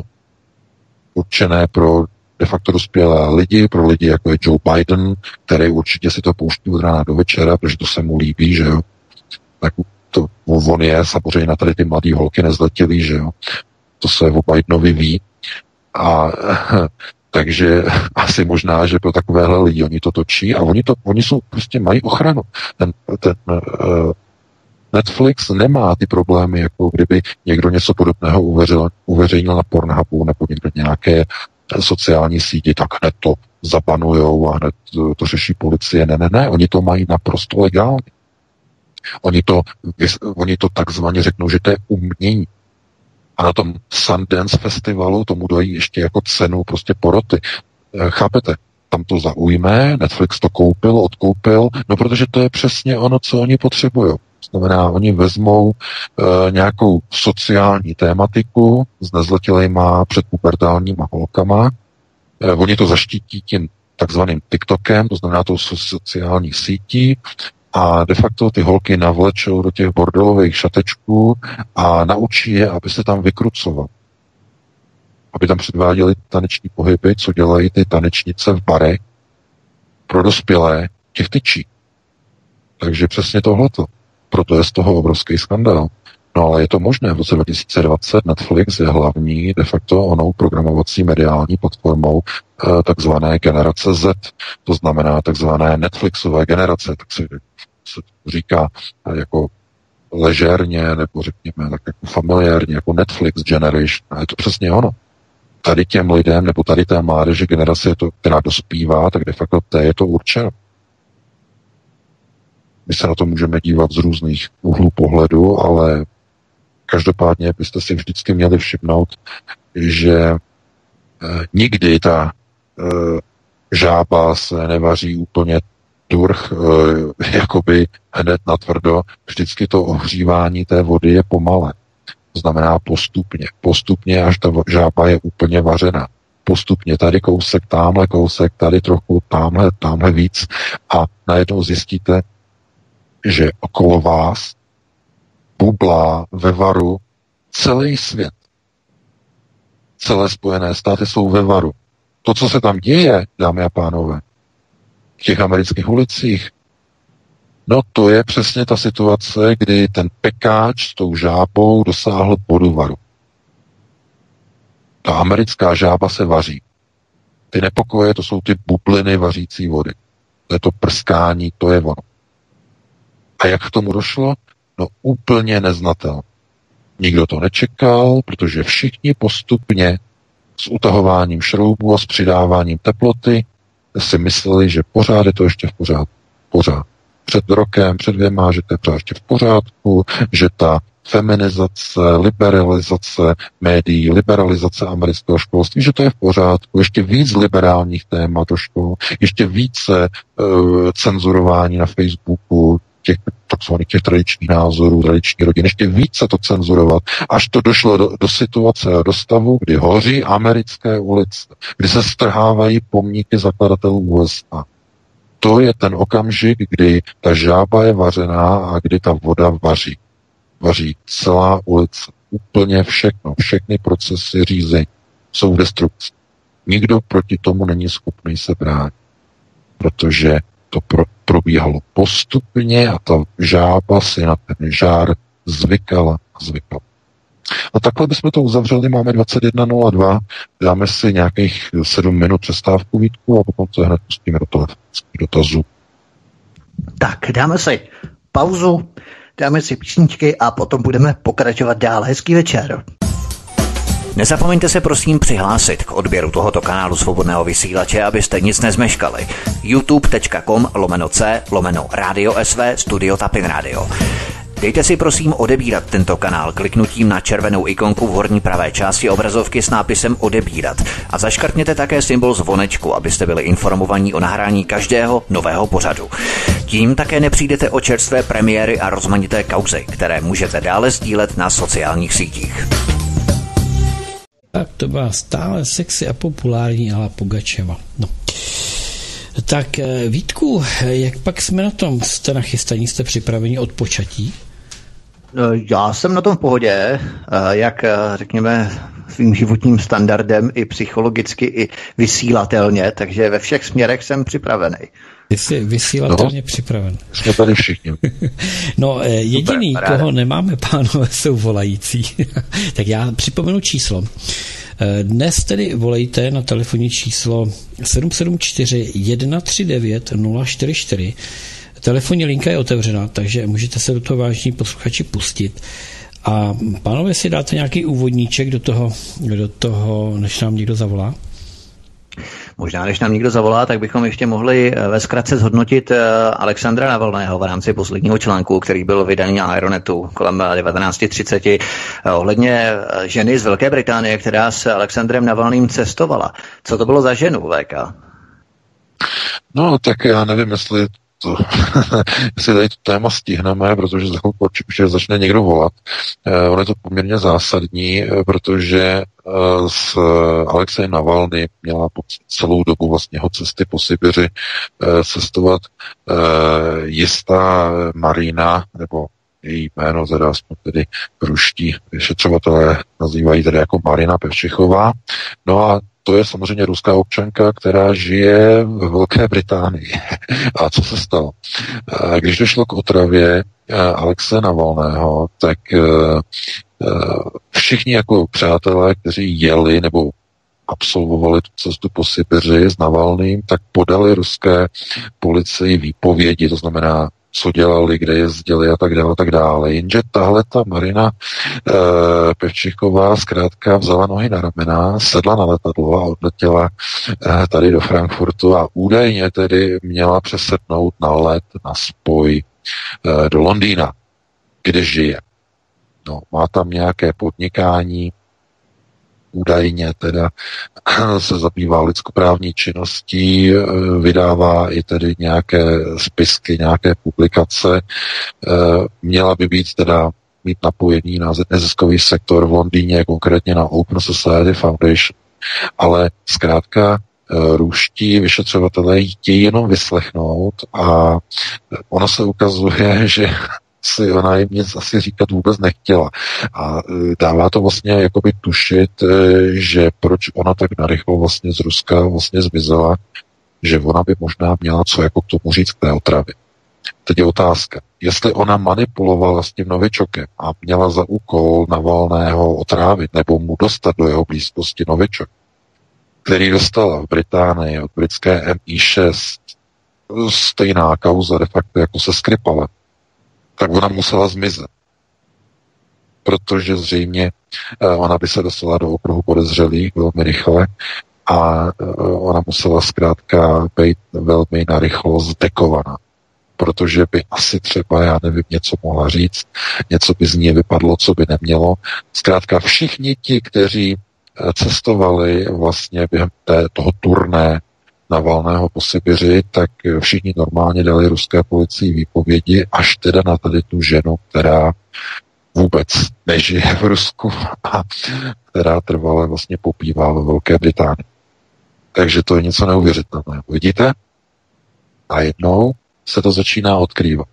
Najednou se zdá, jako kdyby uh, jako, chápete, kdo by měl zájem na zlikvidování na volné?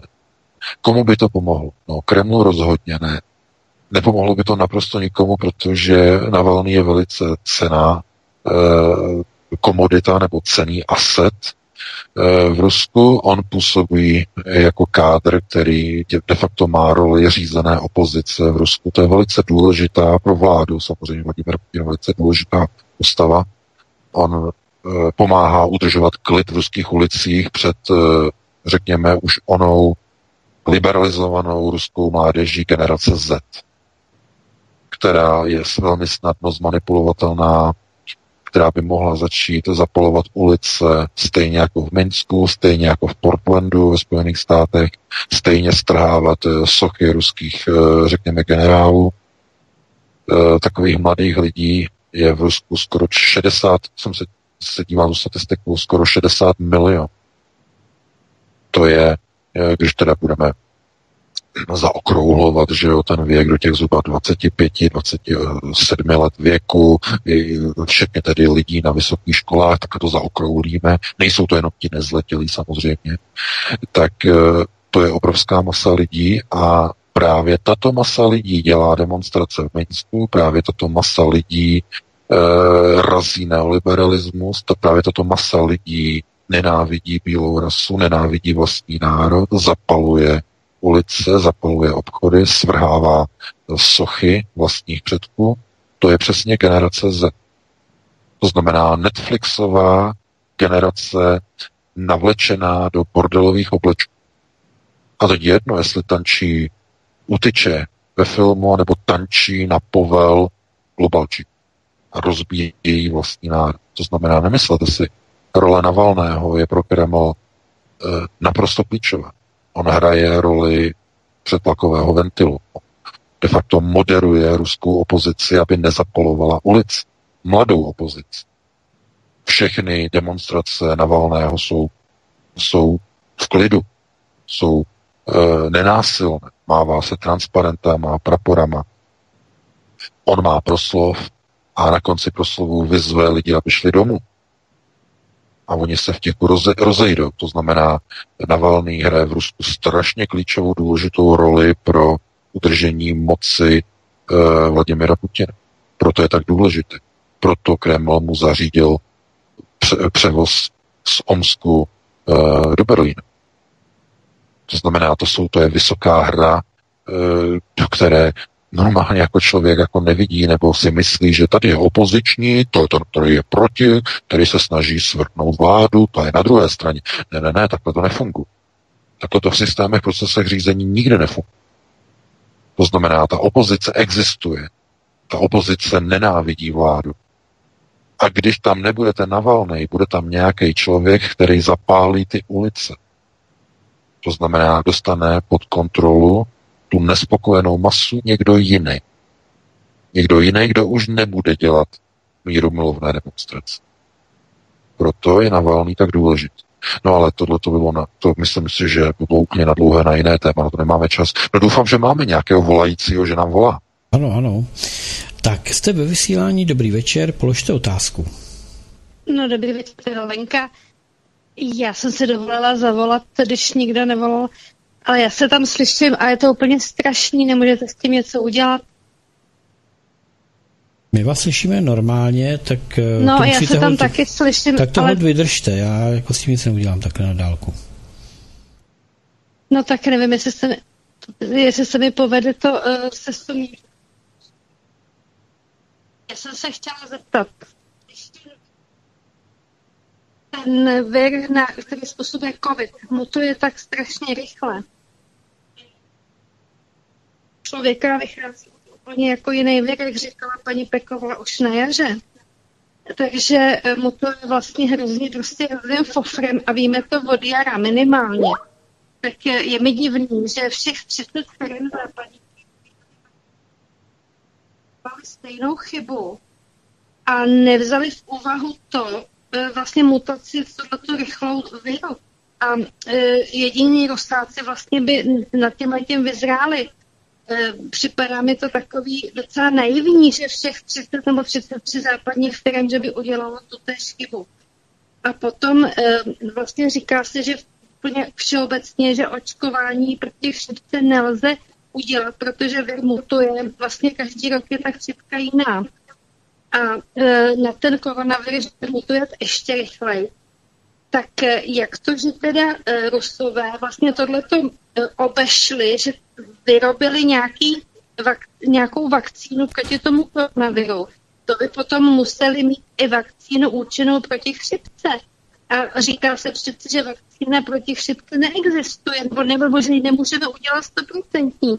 Tak Lenko, jak to, že prosím to vás, položte, položte otázku způsobem, který je ještě horší než ta chřipka, co se týká rychlosti mutace. Nevím, jestli to Dobře, říkám. myslím, že tomu rozumíme. Děkujeme, paní Lenko, mějte se krásně. byste si dát uh, bez a nemáme bohužel čas, paní Lenko. Děkujeme, mějte se hezky, Pavek, a prosím odpověz. Díky. A když řekneme, že no. končíme, tak opravdu končíme. Ano, nebudeme se tady překřikovat posluchači. Děkujeme. Myslím, že stačí tu otázku zřídit normálně krátce. Já jsem ji pochopil už vlastně na začátku, takže eh, aby jsme dali prostor vždycky jako dalšímu, tak jako trošku zkracovat ty dotazy. Já jenom paní Lence velice rychle. Eh, to, co vlastně od ní zaznělo. Virus chřipky mutuje rychlostí frekvenci jednou za rok. Jednou za rok. To znamená, to je dostatečně dlouhá doba na vytvoření nové vakcíny. Jistě víte, že chřipkové vakcíny fungují. Není pravda, že nefungují. Fungují pro velkou část populace, ale fungují vždycky jenom jednu sezónu na ten daný rok. Jo, na ten daný rok. Potom se musí udělat nova. A co se týče koronaviru, ten z největší pravděpodobností uh, mutuje jednou za šest měsíců a Rusové to vědí. Proto velice rychle uvedli tu svoji vakcínu. Jenže ruská vakcína, jak už jsem vysvětloval, funguje na jiném principu než západní vakcína. Ruská vakcína používá přímou imunizaci.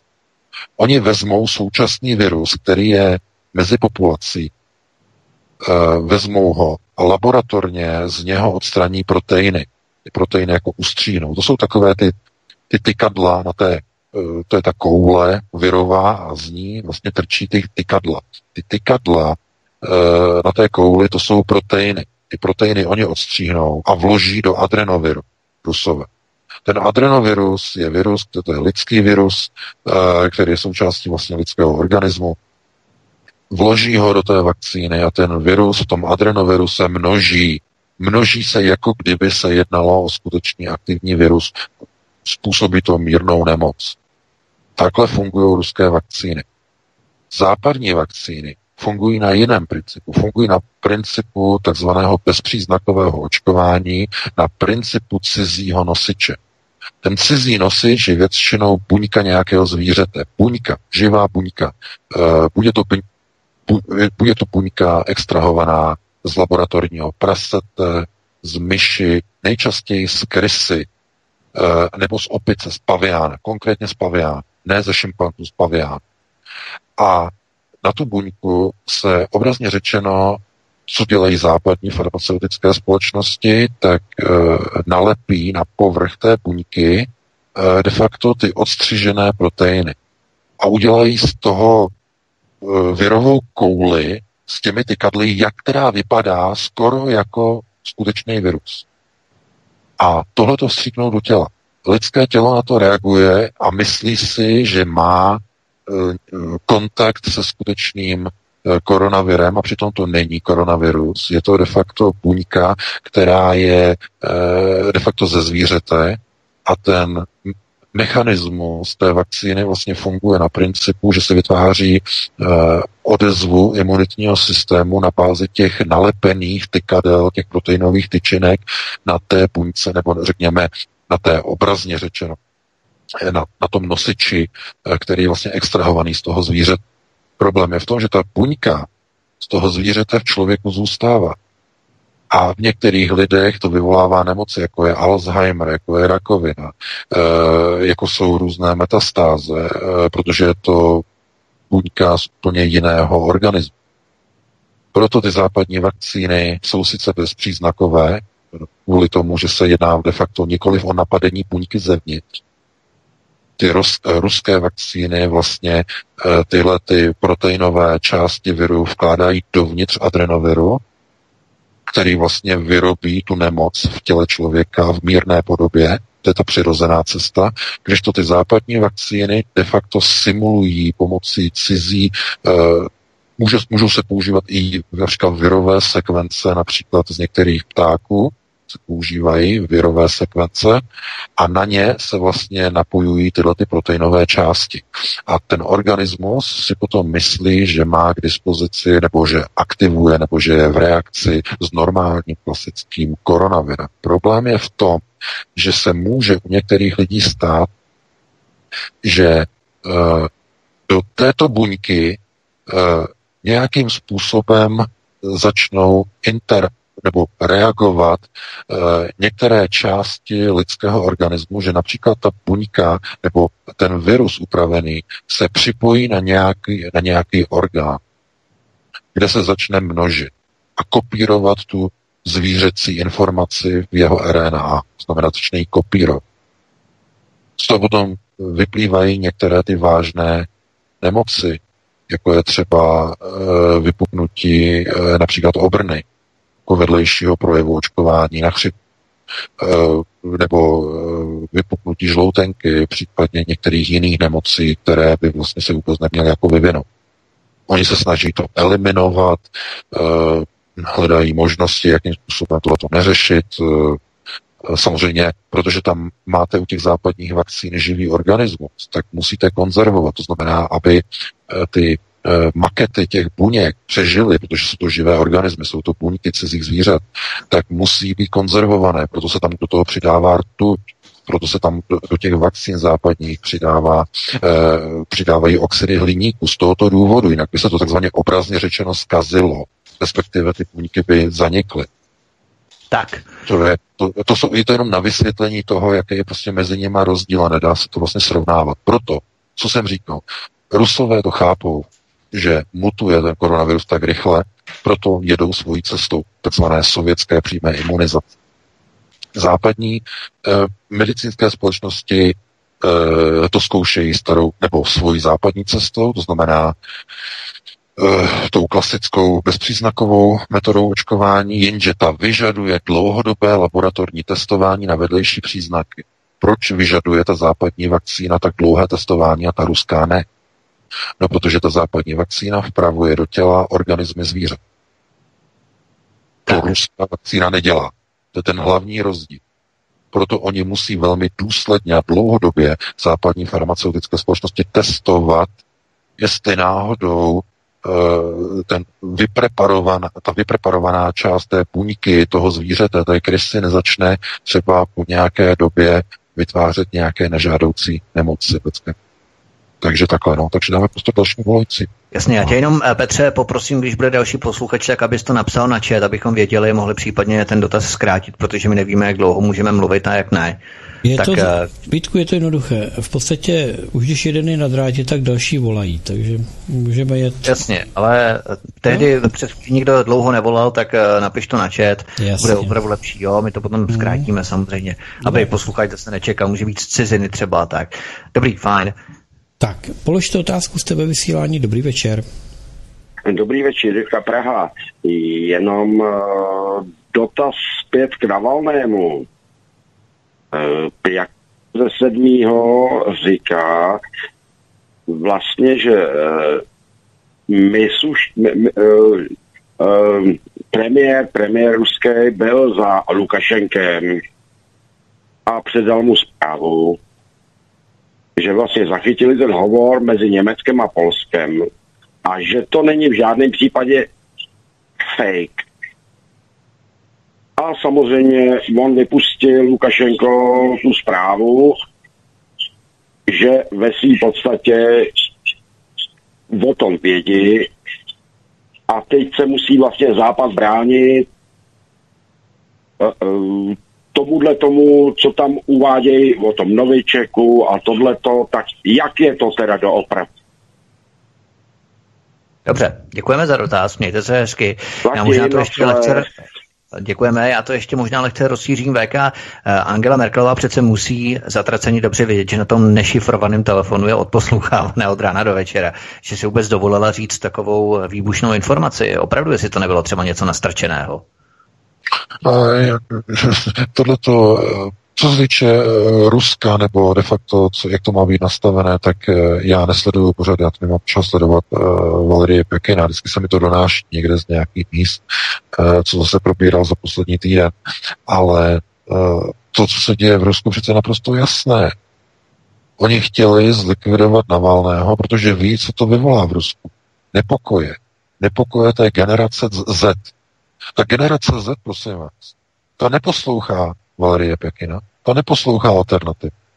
Ta sleduje CNN, ta sleduje satelitní pořady, ta sleduje Netflix v ruské mutaci. To znamená, to je, a jedou, jedou duhové eh, LGBTQ pochody, pokud by tam byly v Rusku povolené, jakože nejsou. To znamená, to je, a to je 60 milionů Rusů. A někdo teď řekne, že z nějakých důvodů, že oni tam třeba, nevím, mají uh, nějaké uh, jako politické procesy, že uh, to znamená jako ve školství a no, prosím vás, školství, ruské školství je stejně liberalizované jako to západní. To bylo jako to video s tím školáčkem z té střední školy z Volgogradu, jak měl vystoupení tady v berlínském Bundestagu, měl esej o německém vojákovi, který zahynul u Stalingradu. To byl ten skandál před třemi roky, 2017. Měli jsme tam článek, video, jak tam citoval zápisník, prostě jak trpěl německý voják u Stalingradu. To znamená, potom byl z toho skandál na ruské televizi, že studenti z Volgogradské školy, že jezdí do Bundestagu a tam v podstatě jakoby dělají opě, jako opěvované ódy na německé vojáky v takzvaném kotli u Stalingradu. Prostě tohleto je ta liberalizace toho ruského školství. Liberalizace obrovská, na to vůbec nemá Kreml žádný vliv. To jsou sionistické procesy v ruském školství. A to tam běží už od Jelcina 30 roků. To znamená, že co se dělá, že prostě, když jsou volby a hlasuje se v politických procesech a tohleto, tak eh, vyhrává Putin. No vyhrává Putin hlavně kvůli tomu, že eh, mládež, ruská mládež nechodí k volbám. To ukazují všechny průzkumy.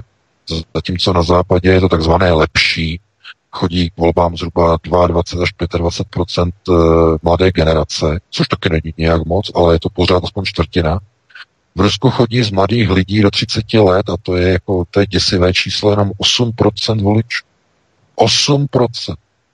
Trtivá většina jsou lidé nad 50 let, kteří, chodí vol, volbám v Rusku. To je, chápete, ale tohleto, to číslo se bude znovu posouvat. To se bude každý, každý rok se malinko posouvá nahoru a nahoru a nahoru a nahoru. A i když se bude posouvat velmi málo, za dalších 20-30 let těch dnešních mladých liberálů bude voličů, kteří chodí už volba. V věku okolo 45 a 40 let, 50 let. To znamená, to je proces, který je jednosměrný a i v tom Rusku platí, že aby byly v podstatě, aby ulice nehořela, musí tam být někdo, kdo tu opozici bude stělesňovat a kdo nepůjde po krku vládě. Bude to řízená opozice.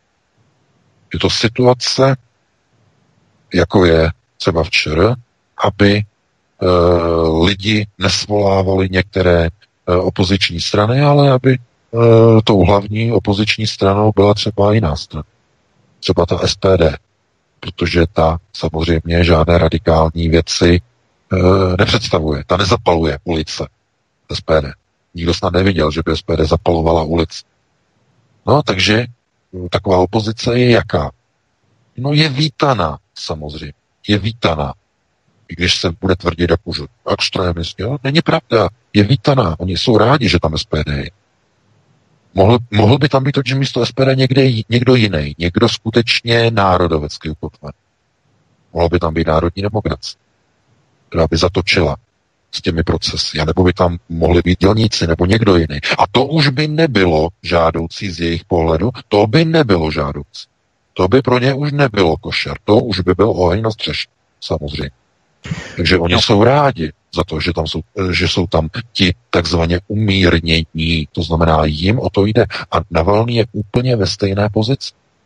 To znamená, nemyslete si, že, že Rusko prostě, že to je nějaké prostě jako samonosné. Ne, ne, ne. Tam prostě se drží ta struktura toho vedení velice obtížně způsobem, že tady máme na jedné straně ti, kteří podporují naší vládu, na straně druhé je ta opozice, která musí být moderovaná.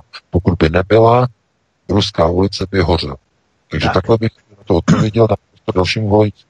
Já bych jenom eh, doplnil velmi stručně v rámci SPD, možná se za několik dní něco zajímavého rozvíme, a, ale ohledně dělníků Tomáš Vanda se prý po volbách má se po krajských volbách eh, má v plánu sejít s Tomiem Okamurou a dojednávat nějaké sladění ohledně kandidátky a ohledně nějakých eh, volebních zákulisních machinací ohledně parlamentních voleb příští rok 2021, což je naprosté fiasko tedy a máme takové informace, tak uvidíme, jak to všechno bude, ale to je absolutní diskreditace a je tam velmi výrazné pnutí v rámci dělnické strany proti těmto postupům Tomáše Vandase.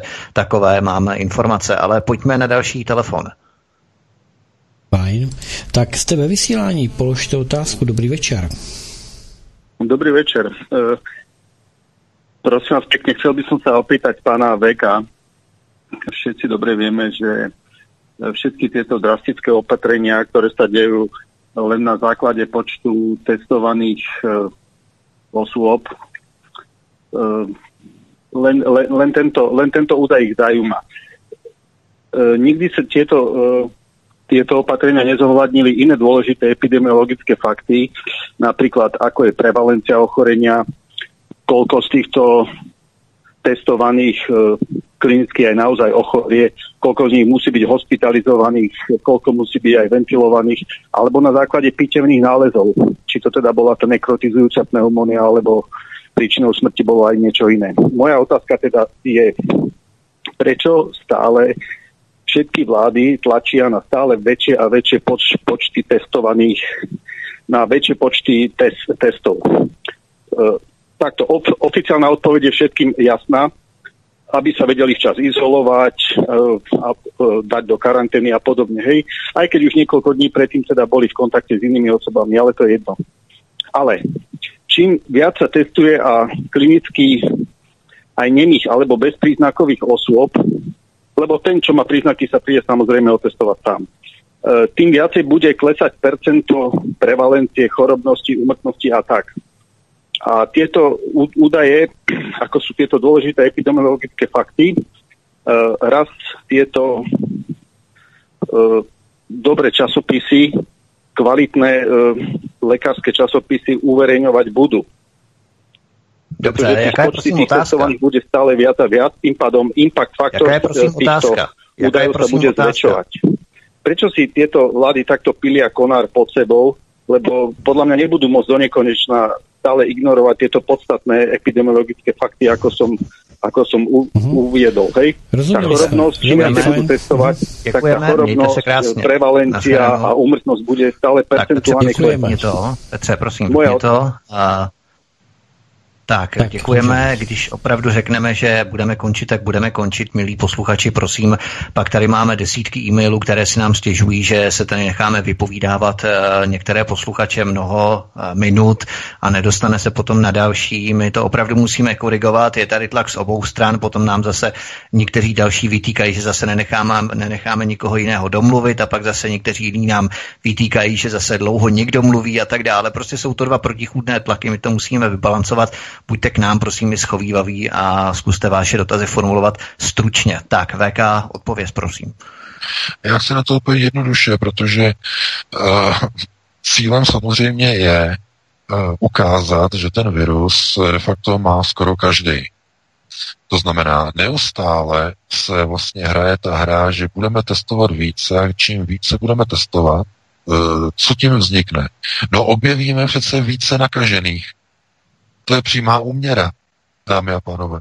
To znamená, když budete testovat v populaci více a více a více a více a více lidí, dá se očekávat celkem logicky, že najdete více a více a více a více pozitivně otestovaný. No a proč oni to vlastně v podstatě se snaží jako otestovat úplně každého? No, dámy a pánové, kvůli kontrole populace. Protože oni nemůžou zavírat hranice, oni nemůžou omezovat pohyb osob, oni nemůžou zavírat restaurace, omezovat provoz, provozní dobu restaurací do 22. hodině, když nebudou mít záminku.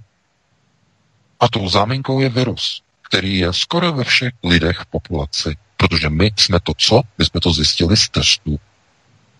Bez těch testů nejsou uh, casey, uh, nejsou případy.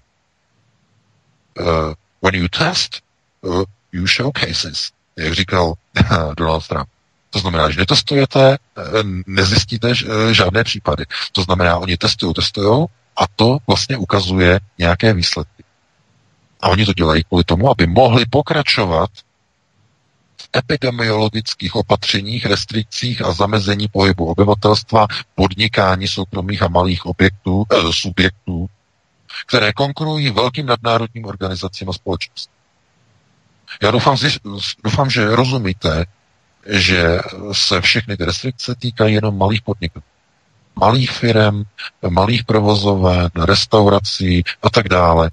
E, ty restrikce se netýkají velkých nadnárodních koncernů, velkých organizací, netýkají se velkých řetězců. Toho se to netýká. Ani dokonce, když byla ta krize na jaře, víte, že měli otevřeno řetězce. Všechny kompletně ano, byly tam samozřejmě, musely být roušky, musely být dezinfekce, ale měly otevřeny všechny. Zatímco malé eh, podniky, tohleto, uh, holiči a restaurace, všechno to bylo zavřené. Obchody, prodejny, zavřeno, mříže, spuštěno, rolety, zavřeno. Ha, likvidace malé, řekněme, malého a středního podnikání v přenosu. A potom máte situaci, kdy to omezení skončí a předseda Českého senátu jede likvidovat ty firmy na Tajvan. Místo, aby v době po, po té první po koronavirové fázi, aby se, to, aby se pomáhalo českým firmám, tak předseda Senátu jako největší šašek jede likvidovat biznis českým firmám do Číny tím, že navštíví Tajvan. To je to, to je to, a to je to, a tomu se říká nosaté chucpe. Řádně nosaté s řádně zahnutým zobákem. To je přesně ono. Namísto, aby ti politici z toho senátu pomáhali těm firmám, pomáhali fabrikám, pomáhali exportu do Číny, tak do toho hází vidle. To je nosaté chucpe. A pořádně macaté, pořádně vypasené. Na váš účet. Na účet obyčejných lidí. Takže oni testují kvůli tomu, aby mohli tyhle ty opatření pokračovat. Protože když nebudou casey, nebudou případy, tak oni budou muset všechna epidemiologická opatření zrušit. Budou muset znova povolit cestování, znova bez omezení, znova budou muset povolit letadla, letecké spoje. Oni nechtějí. Oni nechtějí. Oni chtějí lidi držet na místě, aby se nelétalo, aby se necestovalo, lidi na místě, kontrola, trakování, trasování, mobilní telefony, konec hotovosti, konec finanční hotovosti, všechno, aby se platilo elektronicky kartou. A to nelze všechny tyto úkoly udělat tak, když ta koronavirová krize právě skončí. Proto není dovoleno, není připuštěno.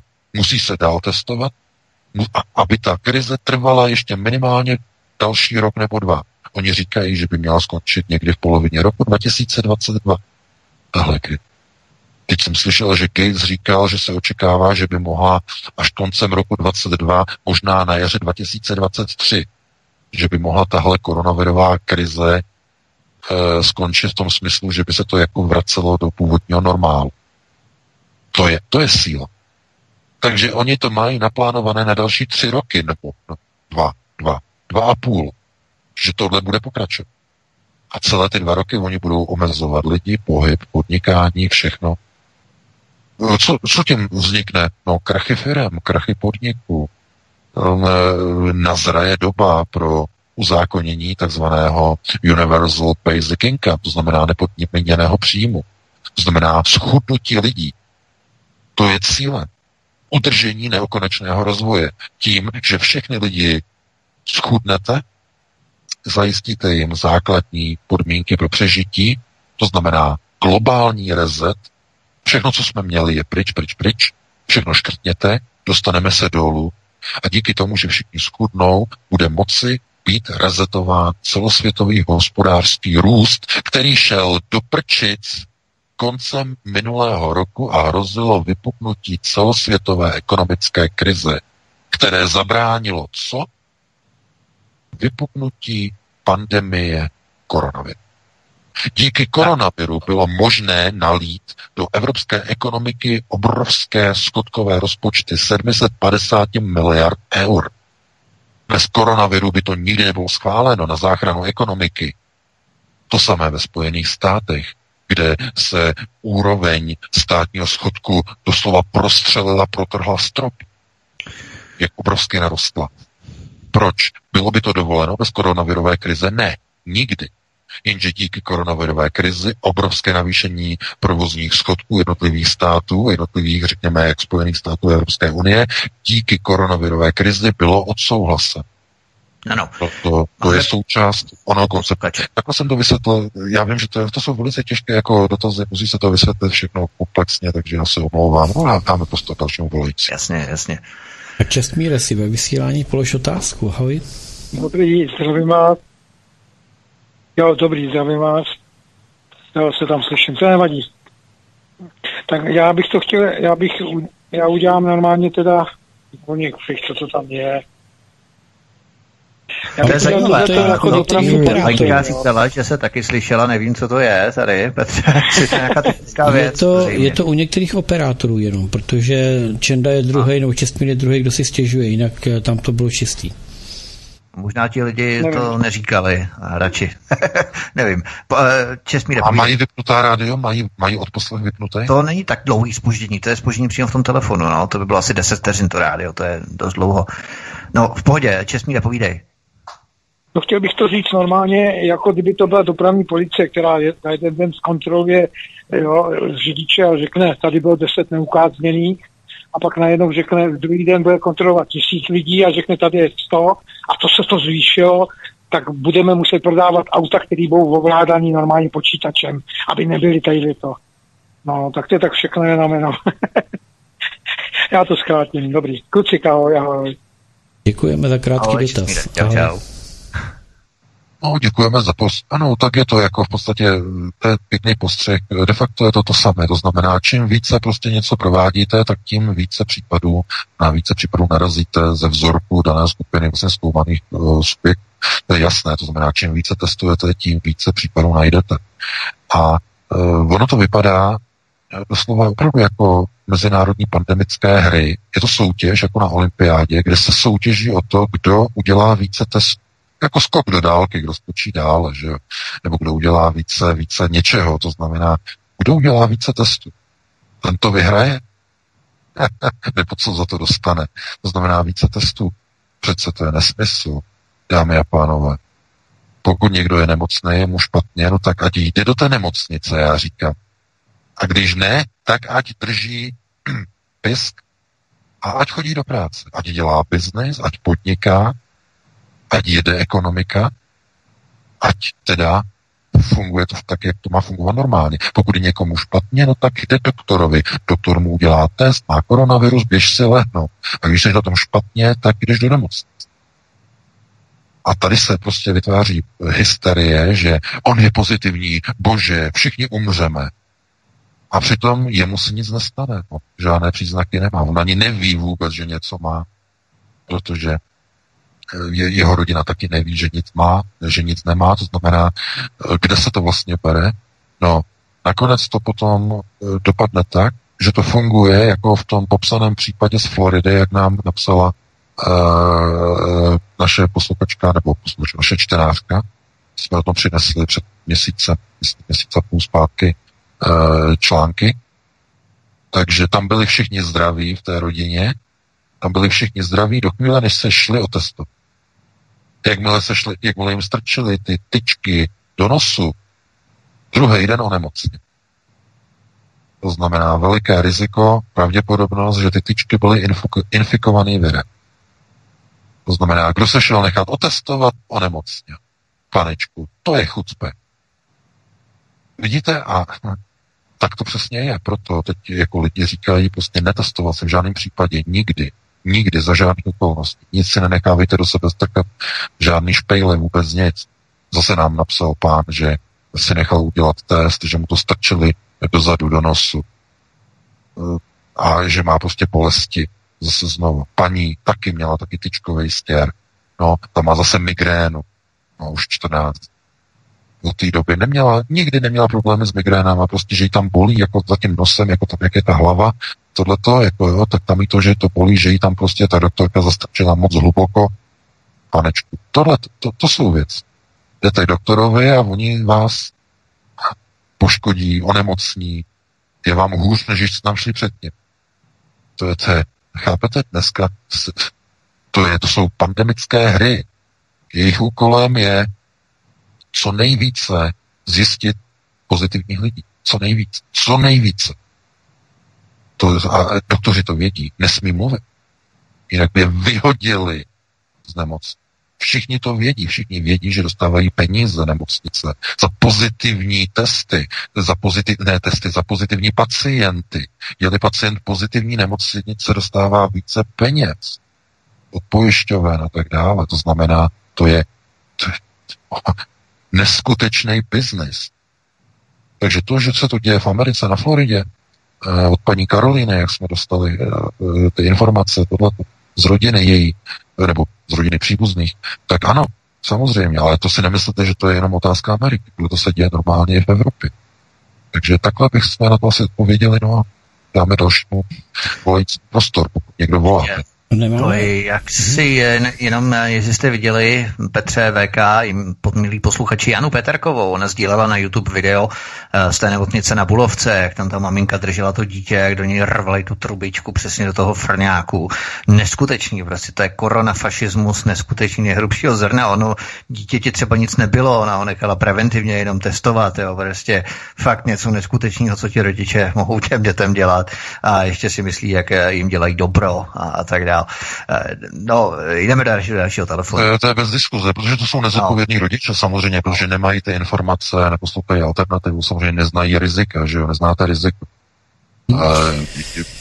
Je jasný, že když jdete do sklepa, tam v tom sklepě je prostě nějaká zkratka nějaké chemické látky a je tam nad, nad tím potom prostě terč, který tam má ty obloučky, jo, ty obloučky, nebo je tam v podstatě, jsou takový ty jehly, to znamená biohazard, anebo jsou tam vlastně znamená radiační, tak vy vlastně, když to neznáte, tak vy tam do toho otevřete to víko, čučíte tam do toho, vy nevíte vůbec, jako co máte s čím jako dočiní.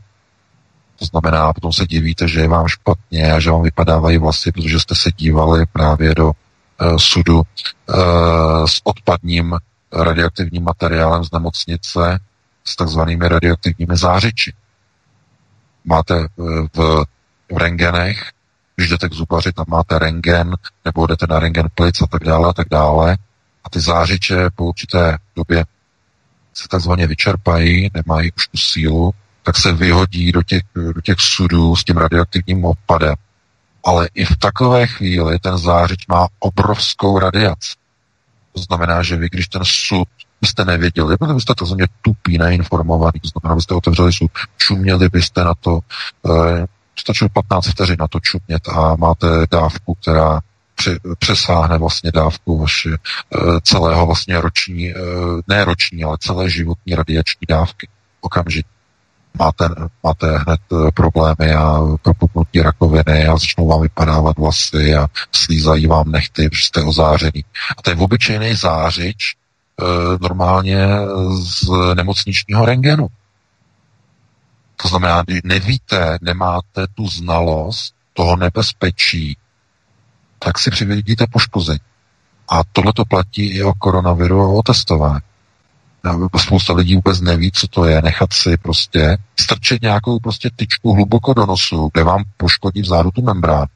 To ta plána, která odděluje vlastně mozek, eh, ta, eh, nož, teda nožní, eh, ta nosní přepážka, tam je plána, že jo, zatím je hned mozek, oni vám to sám strčí a může nastat samozřejmě krvácení, bolesti, mohou nastat úporné migrény a oni to dělají tak hrubě, schválně, jako by byli navedený.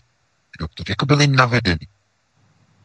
Prostě to je něco, to je něco neuvěřitelného. A několikrát jako no, šprajcnou jednou, dvakrát, třikrát na to šprajcnou a potom se vám hlava může prostě rozkočit. Já říkám, že, že doktoři, felčaři a tak dále, eh, možná jako, že butchers, to znamená řezníci, tak ne, v žádném případě ne. Maximálně nějaké takové ty, když už vás k tomu někdo donutí, nějaký eh, zaměstnavatel, tak eh, ty stěry na ty sliny, jo, že si vlastně v té tváři jako ty sliny nějak setřete. Chápete? teď zase byla ta kauza. Jenom řeknu jednu věc. No, to, to, to už hrozně dlouhý. Jenom, no. jenom na americkém internetu, ale důležitý, důležitý, jestli to dostalo i do Česka, myslím, že to bylo i na českých médiích. Oni si, nechali, oni si koupili test, samostěrový test si koupili a chtěli zjistit, co se stane, když uh, si vůbec ten stěr těch tváří zvnitřku, když si neudělají. Co se stane? Zkoušeli, co se stane, když pošlou, když ty testy jako jenom rozlepí z toho obalu a dají do té zkumavky, ale nedají si do pusy. Prostě vůbec si ten test neudělají, ale za, zašroubujou ho, jakože test provedli a pošlou ho do, labo- do laboratoře. Dámy a pánové, víte, co se stalo? Oni jim řekli z laboratoře, že oba dva testy, to byly nějaký dva kamarádi, a že přišli pozitivní. To znamená sfalšovat. Vůbec to v puse neměli. Normálně to jenom zašroubovali tak, jak to dostali. To znamená, chápete? No, to je skandál. Aha. A je to někdy v mainstreamových médiích? Není to v mainstreamových médiích. Je ticho po pěšině, protože okamžitě je to cenzurovaný. Na Facebooku cenzurovaný, na YouTube cenzurovaný. Nedozvíte se to. To je skandál, panečku. Tak. No, musíme na dalšího volat. Tak, máme, máme to je něco podobné jako v té Tanzánii, jak to bylo s tou papájem. Ano, Jo, přesně tak. Jsme to stejný. Tak, půjdeme na dalšího posluchače, se omluváme. Petře, jsi, Petr, jsi ve vysílání, Petr, Petr u telefonu. Já mám taky jeden poznatek, eh, jak eh, se falšují ty testy, výsledky. Eh, nejsou všichni doktoři, kteří mlčí a ty, co nemlčí, tak třeba řeknou z praxe, že populace, většina populace má veliký výskyt koronaviru v tom směru, ale minimální. Minimální tam je, já nevím, řádově pár tisíc virů má, což není podstatný, ale oni kultivují následně za sebou xkrát, tak dlouho, tak dlouho kultivují, až je to pozitivní z hlediska počtu těch virů a dají to jako pozitivní. Přitom ten, ten pacient, nebo není to pacient, který to má, ten virus v tom malém množství, absolutně nemá žádný příznaky, nikdy neonemocní. A takhle se vyrábí další eh, jaksi významný pozitivní eh, testy, výsledky testů. No. To je všechno, co jsem chtěl říct. No a to je, já jenom přidám, to je důvod, proč třeba doktorka Peková nedostala kontrakt na dělání těch testů. Je to jenom pravidelné. No, ano, ano, přesně tak. A nejenom, že nedostala kontrakt, na ní dokonce zaklekli. Eh, že, že, tohleto, že tam před 12 lety pracovalo ve firmě, že tam špatně účtovali zdravotní pojišťovně, nějaké výkony, nějaké testy, že ji teď budou prej stíhat za, za těch 12 let nebo před 12 lety, že někde pracovala, takže na ní zaklekli jeho Chápete, to je, a to je síla, panečku. To znamená, ona zase udělala něco, to znamená, že něco odkryla, někoho šlápla do biznesu, jo, není dovolen. Já vám říkám, není dovoleno. Oni tam mají svoje, to znamená velcí kluci, co spolu mluví, velká děvčata, co si to takzvaně udělají mezi sebou a nikoho dalšího tam nepustí do toho. Nikoho. A kdo jim tam šlápne, na toho oni zaklekají. To opravdu to je, to je jako mafie. Opravdu, to vám říkám, to není, to už není jako spole, občanský stát nebo takhle. Ne, ne, ne, to už jsou, to jsou rysy mafie.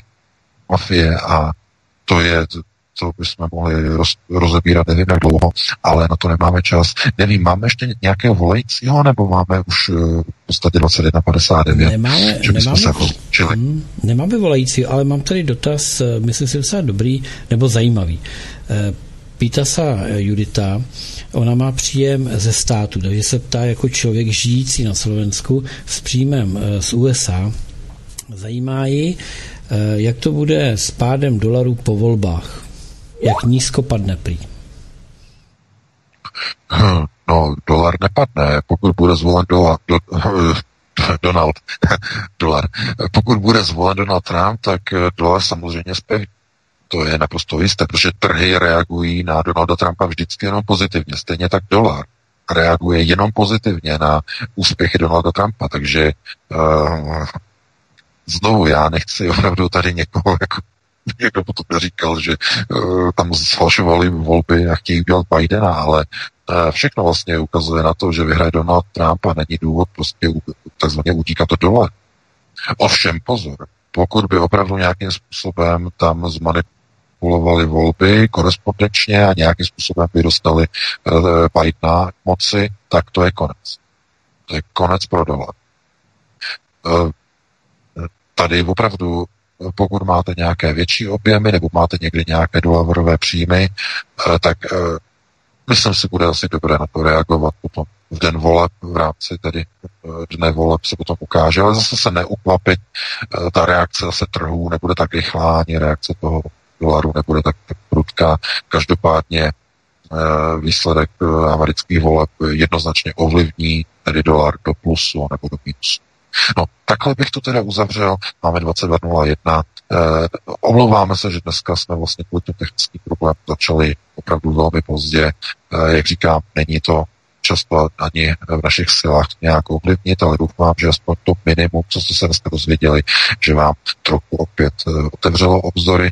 No a pokud si najdete čas eh, opět za týden po 19. hodině, tak eh, se opět setkáme, opět probereme aktuální témata, no a do té doby vám přeji krásný, pěkný, úspěšný týden, no a do tuto chvíli pěknou noc. A my se budeme příští pátek snažit připojit co nejdříve, samozřejmě opravdu. Eh, VK, moc děkuji za uh, tvůj pořád. Petře, tobě za vysílání, milí posluchači, za vaší přízeň, za vaše telefonáty. Umlouváme se těm, na které se nedostalo. Zkuste to příští pátek. Těch informací, které budou příští týden, bude opravdu hodně, takže uh, myslím, že dotazů bude také dost. Eh, já se s vámi loučím eh, jenom ohledně amerických voleb. Uvidíme, jak to dopadne, jestli třeba korespondenční hlasy z americké Samoy nebo z Mariánských ostrovů, jestli to třeba vytrhnou. Tak, eh, od mikrofonu ze zdraví, od mikrofonu vás zdraví Vítek, mějte se všichni krásně a příští pátek jsme tu opět zase a samozřejmě my jsme tady pro vás 24 hodin denně, 7 dní v týdnu, ani kvůli vám nespíme skoro. Jak je to všechno tady hrozný s tím koronavirem. Takže mějte se hezky a hezký večer. Pánové, obě vám děkuji, děkuji všem, kdo jste nás poslouchali, děkuji za přízeň, za posluchačský zájem. No a e, budeme předávat pomalu Jardovi, e, který tam má nějaký pořad, e, pravděpodobně ocení, ale to nevadí. Jenom připomenu, že zítra tedy budeme mít z Midgardu ještě vysílání od 17 hodin, tak se na vás budu těšit. A někdy zase příště společně s VK a Svítkem se budu těšit naslyšenou. Takže mějte se. Dobrou noc. Prosíme, pomožte nám s propagací kanálu Studia Tapin Rádio Svobodného vysílače CS. Pokud Pokud se vám tento nebo jiné pořady na tomto kanále líbí, klikněte na vaší obrazovce na tlačítko s nápisem Sdílet a vyberte sociální síť, na kterou pořád sdílíte. Jde o pouhých pár desítek sekund vašeho času. Děkujeme.